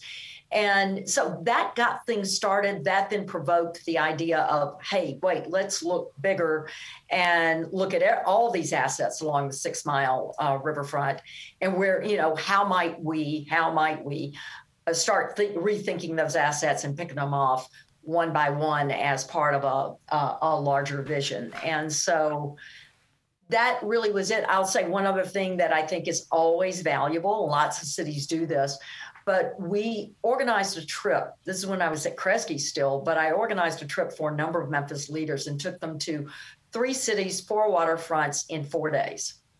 It was the quickest trip they'd ever been on. And look at getting your getting your leadership if to see good waterfronts and what's possible um, and do that together, I think is so utterly valuable for lots of reasons, not just waterfronts, but something I would strongly recommend for any city, just getting that leadership group, letting them travel together, letting them see what's possible, which helps them reimagine what's in their own front yard. Well, thank you very much. Uh, this next question is uh, very interesting. Certainly in Nashville, experienced the 2010 flood and uh, uh, what that did to the downtown and other areas of the neighborhood. Did any of you have to deal with floodplain issues? And perhaps so, let's start with the senator and then uh, go to the other panelists. We we did. We haven't had the tragedies uh, that that uh, Nashville has had, uh, but but certainly you know we had to be cognizant of where buildings were built and and that type of thing. Just like I know Andrew did. I, I do want to go back to what Carol said. That's so important. Um, it was so impactful for me as a young man. I wasn't in the public arena. I was you know building shopping centers across the country in my business and I went and visited Baltimore and Inner Harbor and saw what, uh, and I, I, alluded to this gentleman before, but Jim Rouse, what Jim Rouse had done there. That is so impactful, and I, I think what key, what Carol just said is one of the more key comments uh, that should be made because or, or retained is that it does affect you. Greenville, South Carolina, came to visit us uh, while I was mayor to see what we were doing. I was in Greenville uh, not long ago. It is unbelievable what they as a city did, but they did it by learning from others. And uh, there are people there. I wish there were even more people like Andrew and Carol um, all around the country, but but to visit and see what they've done, but also go to other cities that maybe are similar in size to what um, Nashville or whatever community may be em- embarking on this, it, it matters. I mean, to see it, to see the, the, the life that it creates, to see the type of people that are there, by the way, from all walks of life. I mean, one thing about public areas uh, is it attracts people from all, it's the best of community. So, uh, Carol, I, I, think I'm so glad you shared that. Well, thank you. Andrew, uh, could you talk about the floodplain situation for DC? Sure. Yeah. So we are uh, in a floodplain, uh, and uh, you know, we we are actually quite uh, prone to uh, sea level rise. Uh, actually, we are we are actually slowly going into the water, very very slowly, as the water rises. Um, so that is a concern. I would say it's become even greater concern over the last few years. But the wharf, for example, developed you know developed to a floodplain. They, they actually developed ways of, of water uh, storage and, and, and mitigation to, to ensure that um, that they're resilient. And I think that is something that we're very much thinking of in the future. Uh, we have a, a, future waterfront development uh, project in partnership with the federal government and the National Park Service called Poplar Point on the other side of the river. And I think that that will highlight a six or 70 acre park and making sure that that park is resilient, that that park can handle floodwater so that it doesn't go into development will certainly be a part of, of the planning from the day one, uh, rather than just kind of mitigating through engineering, which I think uh, is oftentimes kind of where we have been in the past. Thank you very much. And Memphis is right there on the Mississippi. Carol, could you talk about the floodplain conversations that you've had there? Yeah, of course, we look at a floodplain in Arkansas and the and the drama of it being covered by water, and you know, as far as the eye can see, is you know brings that home. It's one of the reasons we hired uh, for the current work we're doing, um, Scape and Studio Gang, both of uh, both are led by um, uh, women who are outstanding in their field on the on in, environment and and building and resilience. There's a wonderful article on Kate Orff, who runs Scape, the landscape firm, uh, in the New in the New Yorker about six eight weeks ago, um, and the um, the work she did in the wake of Hurricane Sandy um, and looking at how to rebuild resilience. I mean, really, really smart things. Um, Jeanne Gang, who runs Studio Gang, is on the cover of Fast Company this month, uh, also uh, renowned for her work in resilience. So what we wanted to do is make sure and and by the way again this part the the current work we're doing is built on a corps of engineers berm. And obviously they had a lot to say about uh, how we handled um, the work there and you know what we could and could not do. So we we have a lot of voices really mm, uh, who who approach this through the lens of uh, environmental um, uh, the environmental concerns and opportunities uh, with this work. And now we're you know we're we're also thinking I mean about energy and everything else as it as it relates to um, this riverfront. Senator, I wanted to turn to something you mentioned in your presentation. You were a commissioner for the state uh, for finance and administration, developed these relationships with the transportation commissioner. For mayors who have not developed those relationships, how do you do that? What is an effective way to get the ear of someone like the transportation commissioner? So, look, I, I, we're fortunate to have a state where, you know, let's face it, um, we've had good leadership mostly for a long, long time, and our and you know state government attracts people that want to make a difference and uh, um, look i i i think just talking to people in practical ways i mean people generally speaking want to help others solve problems who are in public service and I think that's true of the Department of Transportation today, the state of Tennessee. I think it was true 10 years ago, 20 years ago. And uh, it's just, Dave, David, it's just relationship one on one. You know, you go in, you're transparent, you, you know, you know, share with them, you know, what the challenge. By the way, most people want to help you overcome challenges. I mean, approached the right way. That's typically what happens. Um, I would say, look, there, there's no mayor in there's no mayor or county executive or county mayor in the state of Tennessee that the Department of Transportation head is not going to meet with. Okay, that's just what they do. And uh, I think going in armed with, you know, what it is you want to accomplish, asking for their help, um, I think they will will gladly give it. And I don't. What what was was unique. I mean, as Carol mentioned, was you know, coming up with the idea of just trading and and being able to connect a state roadway.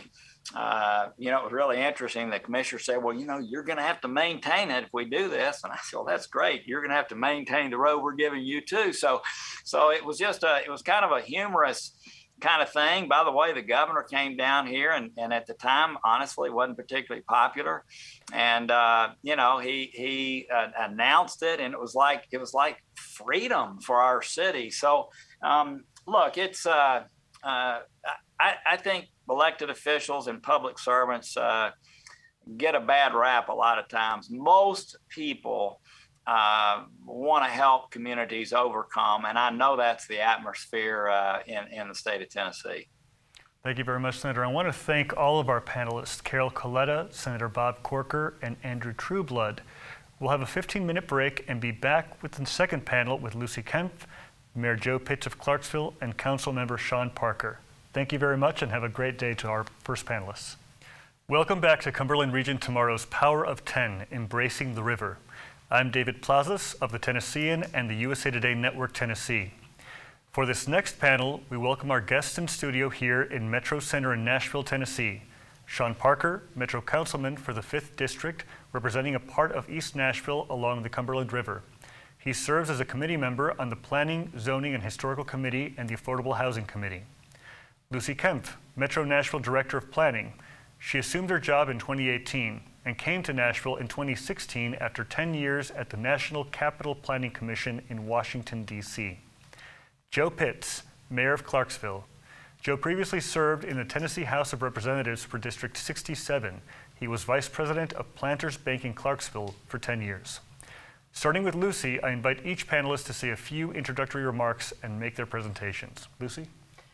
Thank you, David, and thank you so much for the opportunity to be here today to speak about this extraordinary opportunity that we have in Nashville. I thought that the first panel really set the stage well about the possibilities and the future uh, for our waterfront, which is really exciting. And I actually brought some uh, drone footage of the riverfront in Nashville today, which we thought would help uh, connect some of the ideas that you heard in the first panel to the existing conditions that we have on the ground um, here in Nashville.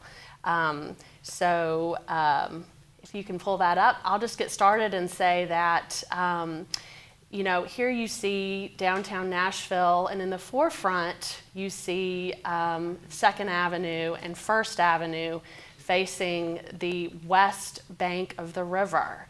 And Nashville's history, our modern history, if you will, of sort of modern uh, Nashville was born on the Cumberland River. And so um, this is zooming here into a view of the river itself, and then you're going to get a chance to see a shot of the western and the eastern uh, banks of the river.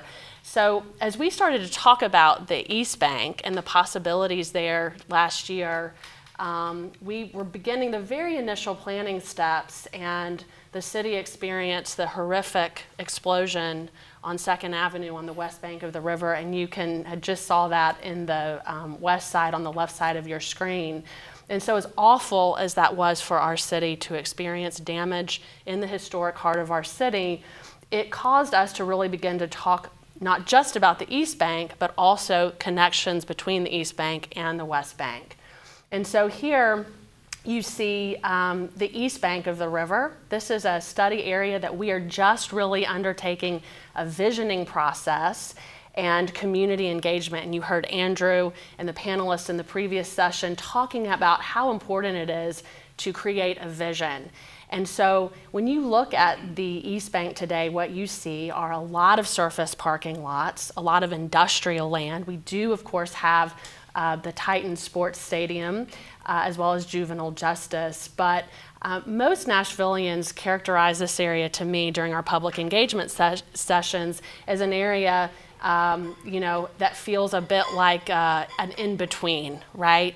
And so you can see here, um, you know, that the area has uh, bridges um, as well as an interstate on one side and then the river. And so the partnerships with the state, um, and uh, you know the Corps of Engineers and many others are important, as is direction from our community.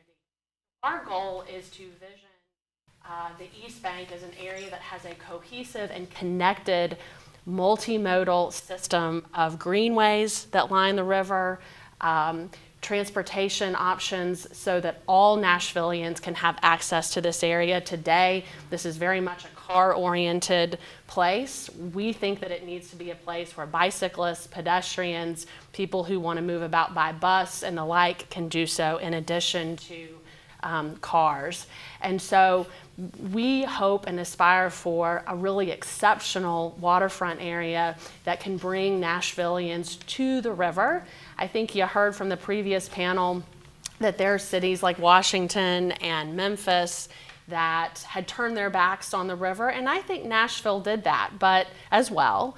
Um, but uh, you know, we've made some great progress. Uh, Ascend Amphitheater on the West Bank is a great example of um, you know a gesture towards the river. That was a step, and we're building on that momentum. So um, I think, as you can see here, there's a lot of work to be done to reclaim uh, this space for Nashvillians in a different way, turning uh, you know asphalt to green. Uh, but we believe it's possible. We're really excited about the work that we're undertaking. So I'll just say before closing, we're in that critical visioning phase where we're getting a lot of feedback from the public about what they would like to see here. And the first step that we're taking is making sure that we have public infrastructure in place that can support new development. There's no housing here today. And so, how would you build housing? What do you need to support housing? And so, those are the questions that we're asking right now. And again, we're sort of in that first step, but we're really looking forward to, um, to moving forward because we think there's just an exceptional opportunity here um, to do something great for our community. Thank you, Lucy. And that's phenomenal footage uh, from the drone. Mayor Pitts, uh, your turn for the presentation. Okay, thank you, David. And, and to uh, Cumberland Region tomorrow, thank you so much for uh, the invitation to be here and tell the story of Clarksville, Tennessee. It's good to be with Lucy and Sean uh, as well and talk about our beautiful city. You know, the history and the future of city of Clarksville is inextricably linked to the river. Uh, we were founded at the confluence of the Cumberland and Red Rivers. Uh, of course, tobacco trade was all the rage back then, uh, less so now. Uh, but we also use it for commerce uh, as well. But uh, we, we are all about connectivity and trying to connect those significant parts of our community via the river. back in 1987, former Mayor Don Trotter um, created a River District Commission, a group of citizens who were passionate about doing something with the river, that body of water that runs through our downtown uh, that really had been neglected, uh, other than a boat ramp uh, and just a few spaces. Uh, but we all recognize the value of that. And then we also recognize the fact that Fort Campbell needs the river uh, when they deploy troops. They need the ability to load equipment and people onto uh, barges in order to transport equipment so it can be deployed to the far-flung areas of the world uh, in defense of our nation. Uh, and then we wanted to use it as recreation. Um, and former Mayor Piper uh, visioned and envisioned uh, Liberty Park uh, with a marina. Someone said if you have a river without a marina, it's like having an interstate without an exit ramp. So we needed uh, the marina in order to build on that momentum of having a river. But every mayor uh, from Mayor Trotter on has really invested themselves in having, uh, having a, a, piece or a vision for what the uh, river could do. Now, in about 2012, uh, we had a master plan for our greenway created, and I want to show a graphic here just to kind of give you a sense of how much we've invested, and we have many more parts uh, of this greenway to, um, to accomplish. And again, every mayor has tried to pick out a part that was important. And we've tried to assemble some pieces uh, in order to create some connectivity. We now have nine miles of greenway. Much of that is long, along a body of water, a creek, uh, a blueway, river, uh, especially the two significant rivers in our, in our community. Uh, but this master plan kind of gives us the sense uh, of what we want to do and make sure we maintain the history. You know, you could go back and play Senator Corker's um, uh, interview just a moment on the panel with Carol and Andrew, and you could you could almost just replay it. Uh, and that tells the story of Clarksville. When the River District Commission was formed, we visited Chattanooga when Mayor Corker was mayor, or Senator Corker was mayor.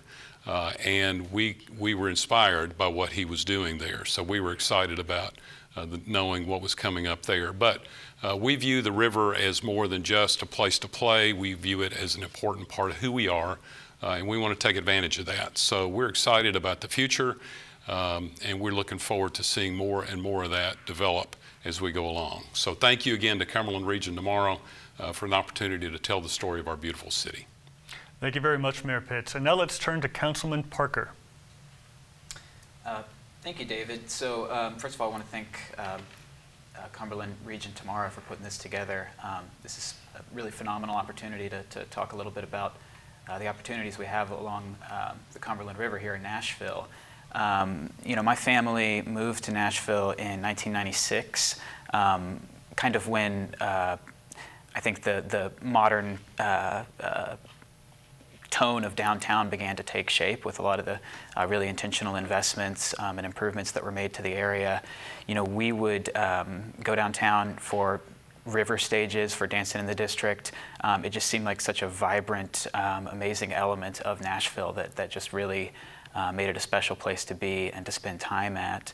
Um, and, and, and you know, now that I'm in the position I'm in, uh, representing uh, the western side of East Nashville, which covers a large stretch of the, the Cumberland River, um, just having the opportunity to be a part of how that takes shape is, is just really incredible. You know, working with planning. Um, thanks, Lucy, for your awesome summary of the, the work that you guys have been doing. Um, working with planning, working with property owners, working with my community to find out, you know, what are, what are our priorities um, as this area grows and evolves.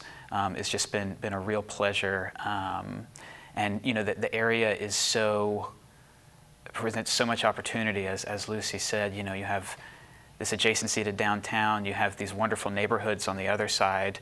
Um, so it's, it's about how are we going to develop that to sort of not only be a bridge to the, the density and the entertainment district of downtown, but to really serve those neighborhoods um, with employment, with entertainment, with dining, with um, housing. Hopefully, we can build a lot of housing in this area because, as we know, uh, Nashville's growing tremendously. Um, there's a lot of pressure on the existing housing stock, and we have, you know, corporate relocations bringing thousands and thousands of jobs, and we're just going to have to have a place for those folks to live. So I hope that that can be a major component of it. Um, and uh, as I said, I'll turn it back over to David and uh, look forward to getting into questions. Thank you so much, uh, Councilman. The first question is from Mayor Pitts. Senator Corker discussed how Chattanooga was able to solve the problem of their highway that ran along the riverfront. Clarksville has a similar road. Do you have similar plans or aspirations? I guess you're talking about Riverside Drive, which runs through the heart of our downtown and right next to the river. There is no formal plan in place. There is mainly an idea or a vision in order to accomplish much of what Senator Corker talked about for Chattanooga. But ideally, we would do much the same as they did, um, make it a little more difficult because time and money uh, would, would be needed uh, to do that. But it, but it gives us an opportunity uh, to connect what we already have in the Riverwalk. Liberty Park is on the other end. There's not a really viable way for pedestrians to maneuver from one part of our uh, river to the Liberty Park Marina um, and public spaces with Wilma Rudolph Event Center and Freedom Point being a, being major attractions in that park. So yeah, we, we have a vision and idea, but we don't ha yet have a written plan, but that's next. Thank you very much. Lucy, your office is doing a lot of outreach to the community around the East Bank. What are you hearing and what do people want to see? Thank you so much for asking that question because we're getting really phenomenal feedback and investment from the community. We've had 15 meetings and counting, and we're just getting started. Um, a lot of the feedback has been around, you know, a value of connecting to the river, creating public spaces on the river, wanting to make sure that the riverfront is an area for everyone. And I think that takes on a lot of different you know, kinds of dimensions from um, making sure that there's equitable transportation options, um, you know, equitable access to parks and open space and high quality access. Um, we're hearing from folks that housing is really important and housing, uh, to the councilman's uh, comment, is an, an important issue in all of Nashville. And so what role does the East Bank play um, in that discussion. We've had a really active and engaged boating uh, community and presence. Um, urging us to consider uses of the waterfront at the waterfront. What does that maritime activity look like? And so that's gotten us into lots of conversations with the Corps of Engineers and others to talk about and understand the scope of that opportunity. Um, and so really it's been, uh, it's been an exceptional uh, engagement uh, activity so far. Thank you very much. Uh, Councilman Parker, what would you like to see done to ensure that the existing neighborhoods around the East Bank benefit from any new development? Yeah, um, that's, that's super important. One thing that I always emphasize with uh, developers, property owners, folks that are looking to do projects in the area is to take sort of a, a whole picture approach. So, you know, rather than just saying, here is my parcel that I own and I'm going to go maximize you know, whatever return I can get on that. Um, look at potential investments, you know, offsite improvements. Um, for there's one project um, in my district where there's a pedestrian bridge that crosses the freeway that, that divided the neighborhood decades ago. Um, that pedestrian bridge is severely outdated. It's not ADA compliant. Um, so one of the things that we asked that particular developer to do was to, to improve that bridge. Um, and it will be um, ADA compliant and it will be more accessible and improve for the neighborhood um, when that development is built. Um, we also, I mean, ask folks to look at housing. You know, again, part of that that big picture thing. Not only looking at affordable housing. So yes, it's wonderful to build a restaurant into your new development, but you know, who's going to wait on the tables in that restaurant? You know, are they going to have to drive in from two counties over? Who's going to who's going to work in the kitchen at that restaurant? Who's going to um, uh, be the sanitation workers um, for that building. So it's important that the people who serve this community are able to live in this community. And when we talk about housing, it's also important, uh, the, the affordable piece is very important, but it's also the, the type of housing. So we need more, you know, a trend in, in, in, development right now is to build these micro units, you know, the one bedroom, 700 square foot type thing. Um, and those are tremendous, those are needed for, for single people or couples, but um, we need more housing that will support families with children, families who are going to send children to our schools. Um, and that means three bedroom units. That means in some cases four bedroom units. But um, we, we, have to think about the, the, type of housing that we're building and if that's going to support sort of a whole community um, um, as we, as we uh, advance with these projects. Thank you very much. Uh, this next question is for all the panelists.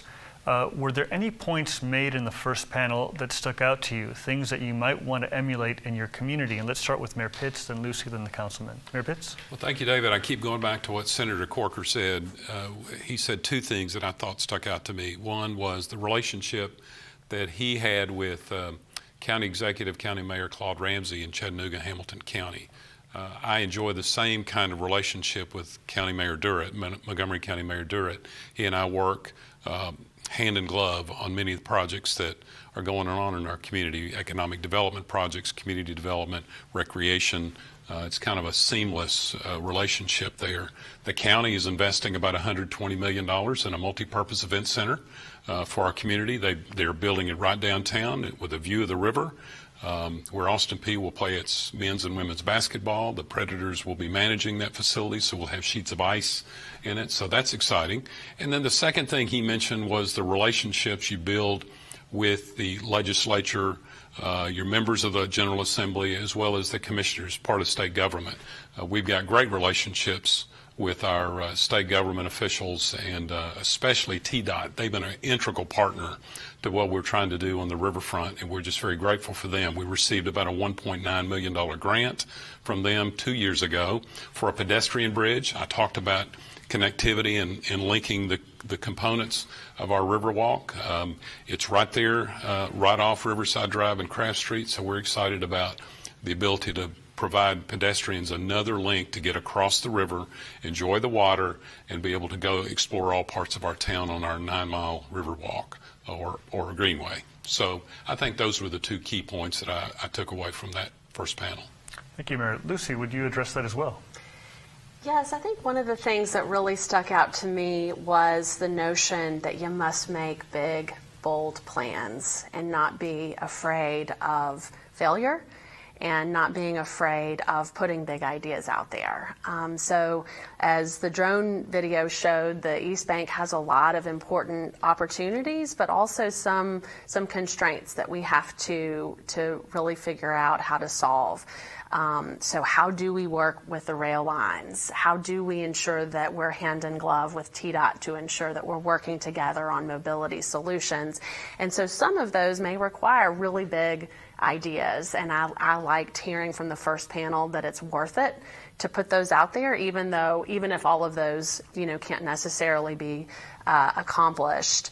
Um, and I think that um, the notion that we could build a green spine all along our river that goes to Shelby Bottoms or to the properties up north, such as where Oracle is going to be located, to connect to uh, neighborhoods that are, you know, north of north of the study area. To me, shows that the lasting impact and positive investment that this that the East Bank work can do is going to is going to really uh, be important for the city as a legacy matter. And so I would just say to conclude that, you know, the partnerships piece and figuring out who to work with to accomplish that vision um, is important both on the community side, but also um, on you know folks like TDOT and other organizations that may have common goals. Thank you very much, uh, Councilman Parker. Thank you. Um, you know, I, I recall the um, the the planner from DC uh, speaking about these major investments they made. Um, you know, using inclusionary zoning, using some of these other tools that are available in other um, states and jurisdictions that, that we don't have access to. You know, it makes it very challenging um, in in Nashville at times for us to engage the community and say, hey, we're making this massive investment in this area when we can't give any assurances that there will be affordable housing. We can't give any assurances that the jobs that it creates will be, you know, living wage jobs that will support a family and support people in a, a, a city with, you know, steadily rising costs of living. Um, so we, we see a lot of anxiety in the community because we're not able to really assure um, any of those kind of kind of basic community benefits or just community assurances that that hey, I'm not going to get left behind when this deal goes through, or that my kids aren't going to get left behind, and it's it's really challenging, and, and, and it, it, it definitely creates um, tension within the community when we, we can't sort of assure those kind of things. So I do hope that uh, in the near future, more of those kind of tools are, are available in our toolbox here in Nashville. Thank you, Councilman. Uh, we referenced uh, Andrew Trueblood from D.C., and this next question is for Lucy. One of the things that Andrew discussed was how D.C. was able to build affordable housing in the wharf, and how can Nashville ensure affordable housing is included in East Bank development? So there were three points that Andrew made that I thought were compelling. First was um, that we have to do housing, right? That you have to have a dense housing profile, and we're very committed to accomplishing that. And so today, the land is primarily occupied by asphalt and some industrial.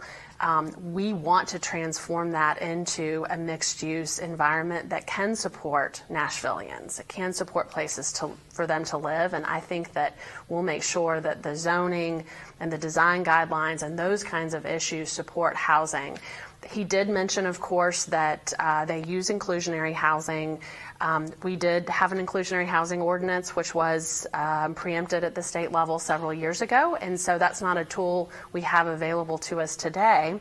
But I do think the other, the third thing that Andrew brought up was um, purchasing property, state property, federal property, and the like, and making sure that we can use that to our advantage. And so, part of the assessment that we're doing today is a holistic view of all of the property on the East Bank. A lot of it is captured in this sort of no man's land around TDOT rights of way and things like that. And you'd actually be very surprised how much land value is encapsulated there. And so I'm not making any commitments. I'm just suggesting that we're going to look at every uh, every tool on the table to see if there is land uh, that uh, we can work with those owners to try to accomplish the community's vision there. And of course, uh, I will and continue to advocate uh, at the state for uh, inclusionary housing again, uh, but I don't, you know, I, I, think I think we have to continue to pursue the options that are available to us as well.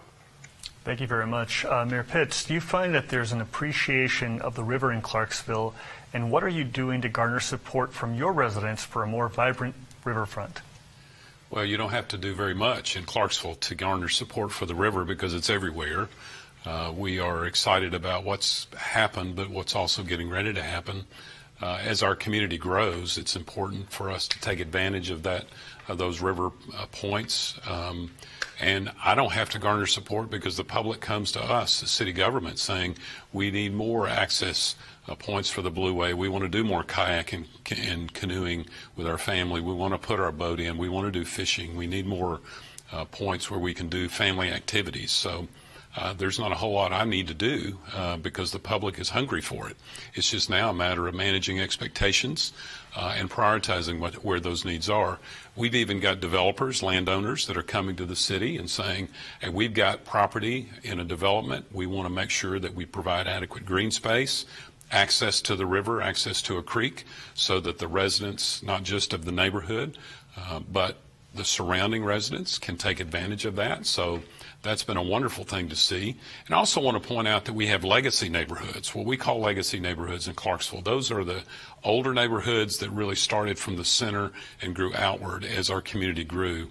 Uh, that we want to be sensitive to their needs as well, that we don't get too far out front, that we bring them along so that they enjoy uh, the growth and the advantages of, of the waterfront just like the rest of us do. Uh, and we want to make sure they have connectivity to that. Um, Senator Corker used a word that I hadn't heard in a while, esplanade. We want to have a nice fancy sidewalk and a walkway where they can get access to that. Um, and those legacy neighborhoods are very important to us as well. Um, so yeah, that's what the public is looking for, and we're excited to deliver it. Thank you very much, Mayor. Uh, Councilman, are there uh, specific things you're looking for in regards to infrastructure? How to ensure the existing neighborhoods connect to the East Bank?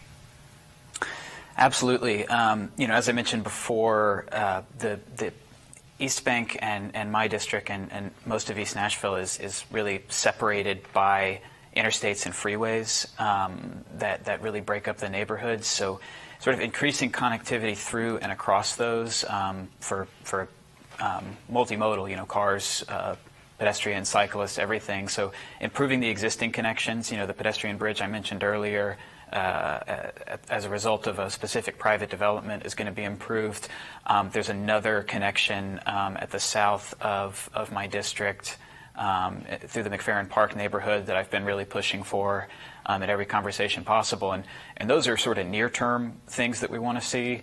Um, long term, ultimately, I'm hoping that the city can work with TDOT to kind of revisit and reconfigure what we call the uh, Spaghetti Junction, which is a, a really massive um, uh, collection of uh, um, interstate exit ramps and, and, and uh, just, just twirling interstate uh, that takes up, as Lucy mentioned, a tremendous amount of extremely valuable land at this point, um, and you know produces lots of emissions, lots of car debris on the roads that wash into. So I think that that's long term. We're really hoping that that TDOT will work with us on on reconfiguring that, maybe streamlining it a little bit to to kind of make more sense in the in the 21st century. So that's what I'm hoping for. Thank you very much. And uh, Lucy, uh, Nashville's uh, riverfront property has everything from Nissan Stadium to PCS to Ascend Amphitheater. What are some of the environmental challenges facing the East Bank? Well, first and foremost, we want to ensure that our vision uh, accomplishes a great uh, sort of sustainability platform and ensuring that we're building in a way that addresses flood uh, constraints and concerns. Uh, this area does flood. I think the 2010 flood was mentioned in the previous panel, and that's something to take very seriously. And so we're looking at areas that are most at risk and ensuring that they are open space, ensuring that our streets function again, not just for cars, but we're considering scenarios where they have uh, stormwater mitigation standards and the like that are incorporated into the design standards. And so that's actually a very different way of um, thinking about how public infrastructure can serve uh, the community in a really exciting way. Um, obviously, whenever you have industrial sites uh, that may evolve into something different, there are stringent uh, uh, federal and state guidelines for how that can be accomplished, and so I'm, I'm confident in that in that process. And um, you know, I think that uh, you know if we can ensure that the platform that we establish for sustainability is set early in the vision, that's something that will guide the rest of the way. Thank you very much. Uh, in my experience, Councilman District 5 residents can be very vocal. Uh, what, what, are you doing to engage residents of the district and also to ensure that they have good information? Yeah, absolutely. So um, we are really blessed in District 5 to have uh, between five and seven active uh, neighborhood associations, and, and those groups meet monthly, quarterly, or as needed um, and they do a really good job of sort of providing an opportunity for me to engage with neighbors, hear concerns, um, sort of give updates about what's what's coming, what changes are coming, you know, what um, what we're working on at the at the county-wide level. Um, and and then with specific projects, I mean, I, I the first or second conversation I have with a with a developer, if I feel like a project is going to move forward, is well, we need to do a meeting with the community. You either need to take it to the relevant neighborhood association or we need to do a specific meeting. And, and sort of the scale of the project will govern how much engagement is necessary. So, you know, a smaller, you know, single lot rezone to permit four units might be, you know, just come to the neighborhood association and talk. But um, some of these larger scale projects that, that folks are um, proposing uh, really do take a tremendous amount of engagement. Um, we try to take into consideration the offsite impacts. Um, you know, um, for a larger scale project, I think that really taking that into consideration, the impact on traffic uh, for the neighborhood, seeing if there's you know offsite improvements, providing traffic calming, providing improvements to things like the pedestrian bridge. Um, we we come up with those ideas by engaging with the community, and that's why it's so important, I think, to get people in front of the community early on with these projects and, and hear from folks. Thank you. Lucy, Andrew talked about the importance of programming the space at the wharf and Navy Yard done by the BID and the developer. Is that something that's being considered for the East Bank? yes, it's something I'll advocate for. And if you will forgive me, I wanted to just reiterate something that uh, the councilman just said, and which is that. Um, the planning department has assembled advisory groups, including neighborhood representatives, to advise us on um, on the project. And we ask those neighborhood advisors to go out and speak with their neighbors and, and help uncover issues and bring those back to the committee.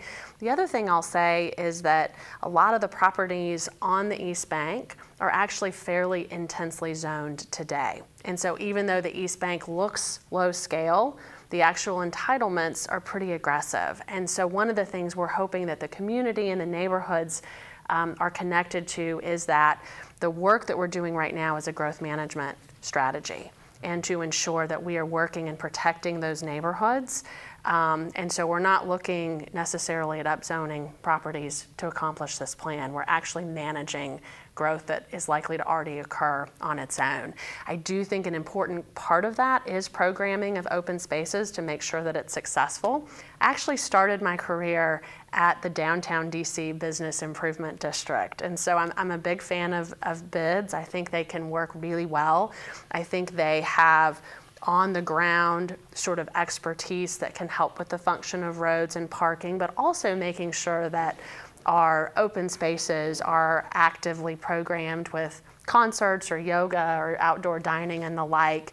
Um, so I think that's really key. And one of the things that many folks have said to me is we really need to ask this question of whether or not the East Bank is part of the tourism platform that Nashville has across the river, or is it something that can be more balanced with a other neighborhood type uses? And so that's something we're really grappling with. I don't have an answer, but I think that a, that a bid or a function like that is able to manage issues like you know tourism oriented activities in a way that could be very helpful um, in this case but we're just not quite there yet.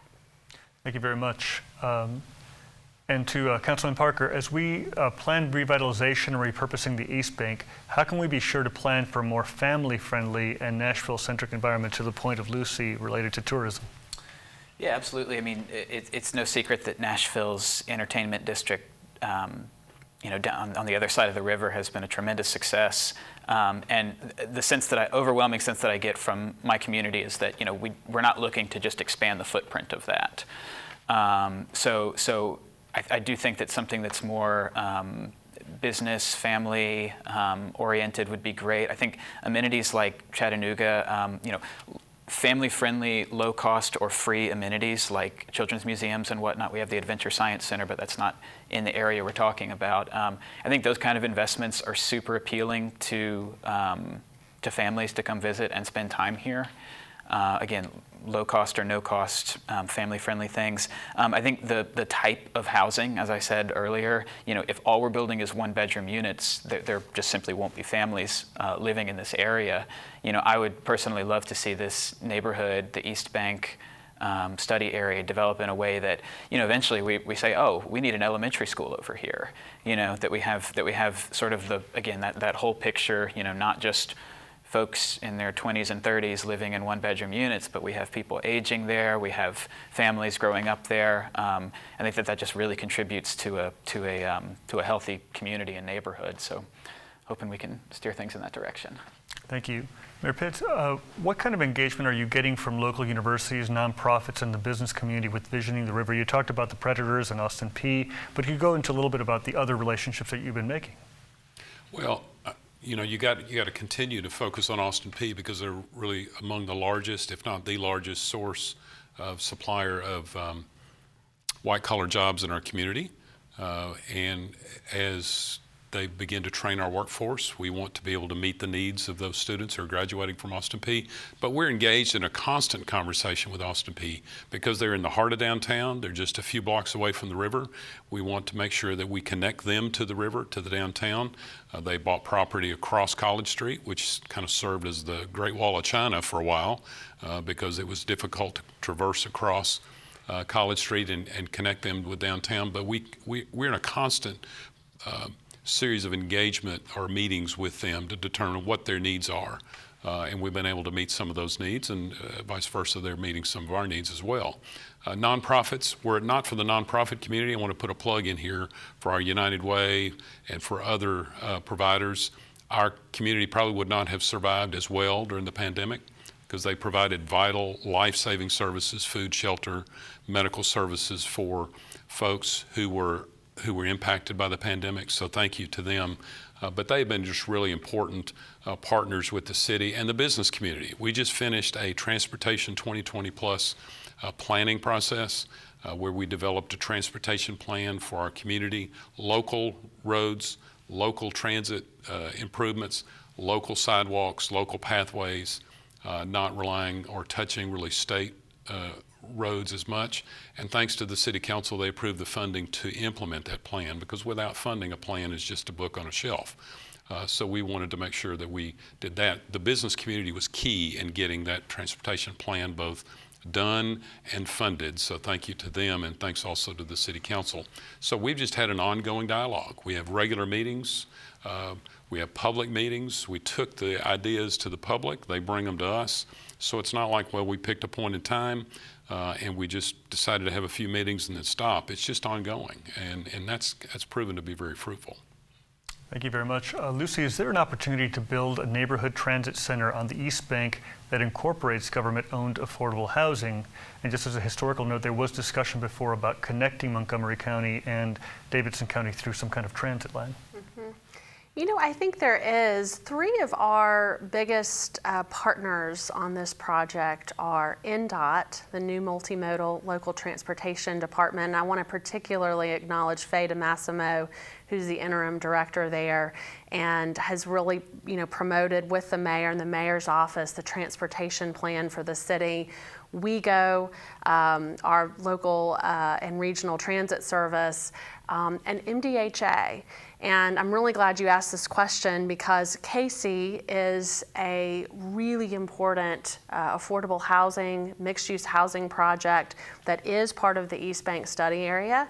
We're working very closely with them to ensure that the neighborhoods within and around uh, Cayce, as well as adjacent neighborhoods, have all the access to the services that are possible on the East Bank. And so integrating that with a transportation platform is a very basic principle, and I think it's something that we would identify um, as a need in the area and look for opportunities for how to accomplish that. Thank you very much. And Councilman, how can we better talk about hot button issues like density? Because we know density is needed for vibrant urban neighborhoods. And again, as a point, you know, cities like Minneapolis have eliminated uh, uh, single family homes uh, as future zoning. But zoning is really strange here in Nashville. Could you uh, get a little bit into this, uh, this situation? Yeah, absolutely. Um, zoning is very strange and complicated. I think it's I think it's probably complicated everywhere. Um, it's kind of everywhere that has a, a zoning code. It's sort of um, they roll their own. There is no standard. Is, is from what I've look, seen when looking into other communities. So I mean, one one of the biggest issues, just practically with with talking about density in Nashville. I mean, up until this term of council, any uh, you know multifamily, um, anything beyond a, a, duplex zoning, so even like a quadplex, um, up through you know uh, denser mixed-use developments, um, um would, would allow the properties to become short-term rentals, so effective hotels. Um, and, and there was this just tremendous, for those of us in the urban core neighborhoods, there was this tremendous mistrust that developed around multifamily and mixed-use housing because we, we would be promised, you know, rooftops and, and neighbors and, and um, uh, density, and then what we would get was this, um, what can be a relatively disruptive um, um activity in a neighborhood, which is, you know, um, it's certainly not an issue with all short-term rentals, but, but it, you're, you're, a lot more likely to have the, um, the party atmosphere and vibe sort of encroaching upon a neighborhood um, if those units are short-term rental rather than long-term or owner-occupied. Um, I myself lived, uh, used to live on a street that um, was was became probably half short-term rentals, and it, it very much changed the the atmosphere of the street, the neighborly um, the neighborly feel. So we, you know, we now have some tools in our toolbox, and we've we've made some changes to the zoning code that have sort of steered us in a direction that I think it's easier to actually engage with neighbors and, and, and, and build trust and say, hey, we're building housing that people are going to live in, um, and, and have that sort of be assured rather than um, promised.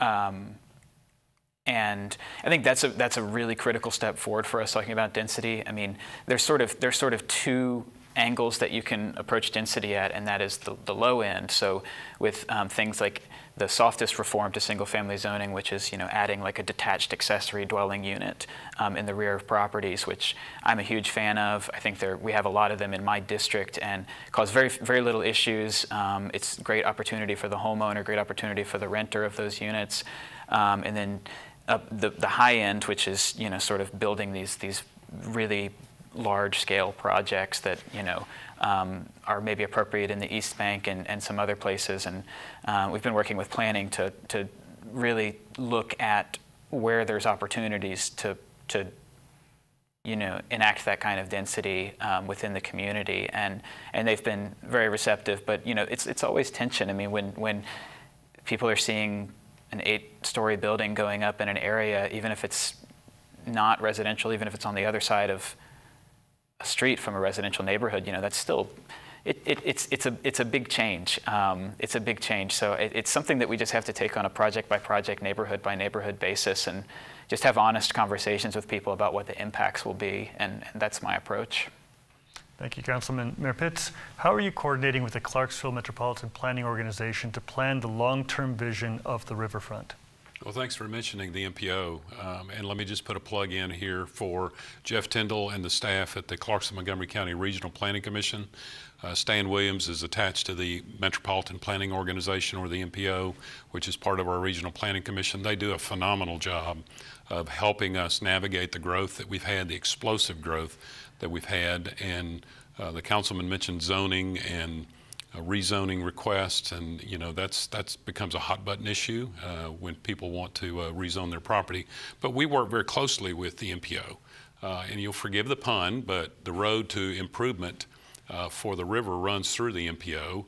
Uh, because not we're not just looking for funding, but we want to make sure we we take care of the regulation part of riverfront development.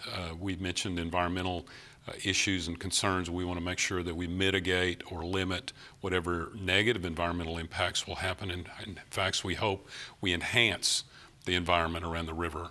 Um, Lucy mentioned stormwater uh, mitigation. That's that's a critical uh, part of uh, what we look at as well. But the MPO plays a very big part in what we do. And so thank you to, to that staff there that work very hard every day. There's not enough of them over there, um, and I'm not sure we could fund them uh, fully um, to take care of the growth that we're experiencing, but we're grateful for they're there. Great partners. Thank you very much. And Lucy, are there efforts to ensure that the Oracle campus develops in a way that connects with the surrounding neighborhoods and benefits all residents?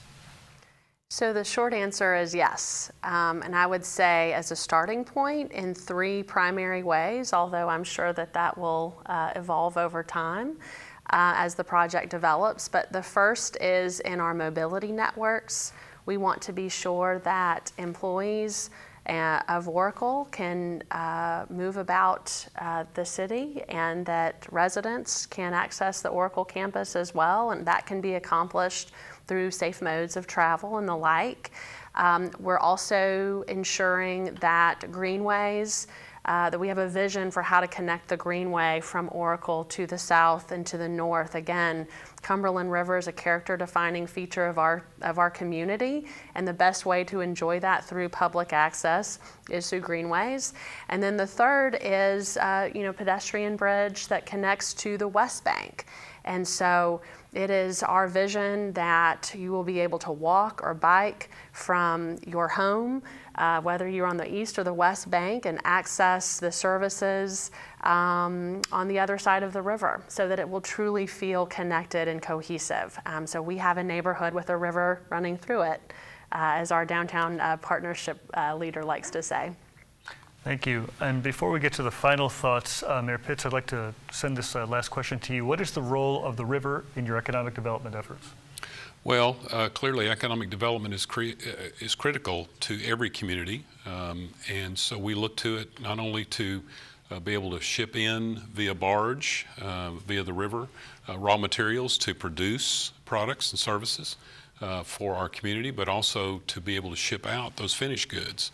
I mentioned Fort Campbell. The river plays a critical part in the deployment of Fort Campbell troops, the equipment and soldiers, uh, when they're called in a moment's notice to go and, and take care of a hotspot in the world. So economic development, it's, it's key. Uh, we need more access to the river for um, those raw materials to come in, get the trucks off the road, off the interstate to alleviate some of that pressure, uh, but also to be able to ship products out uh, and again get the trucks off the road um, and move those products faster to market.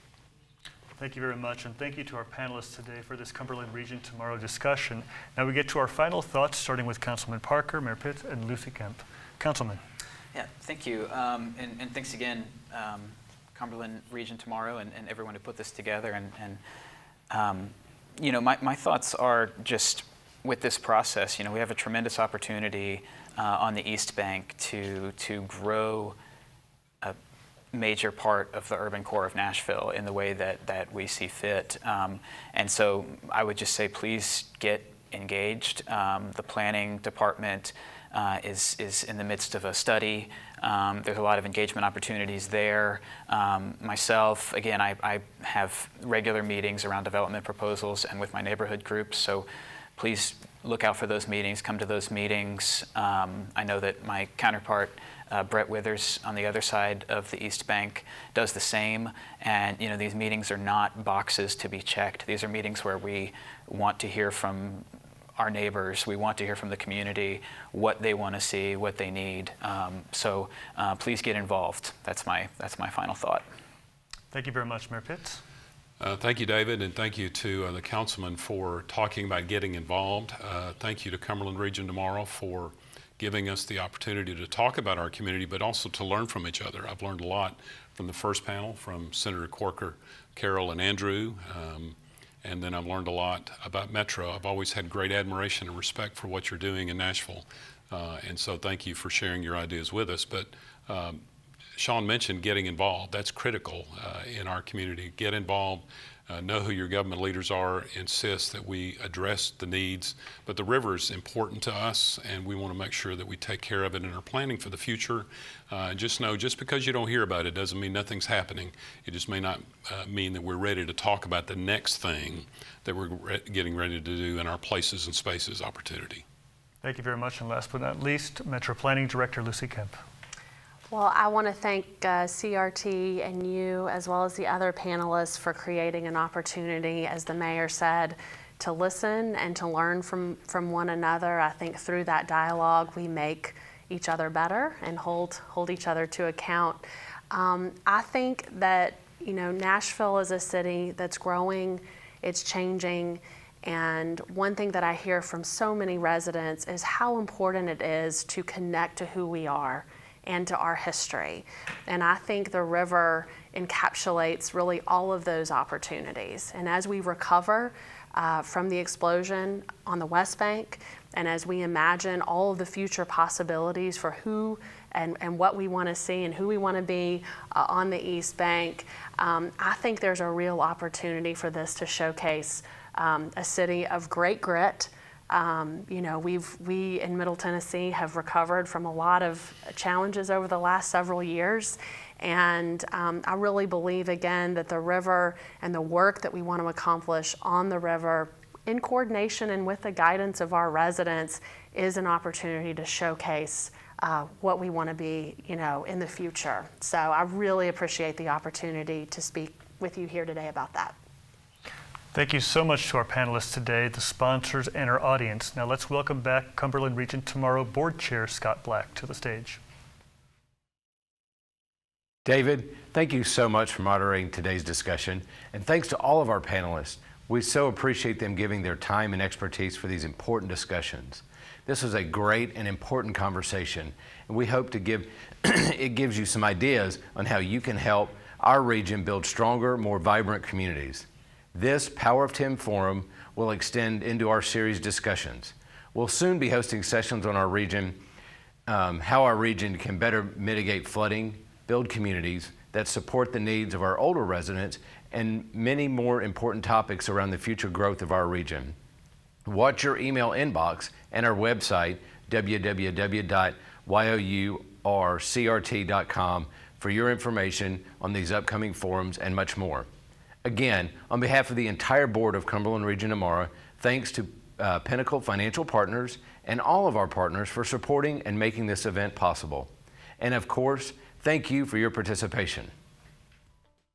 Thank you for attending the Power of 10. We hope you enjoyed today's discussion.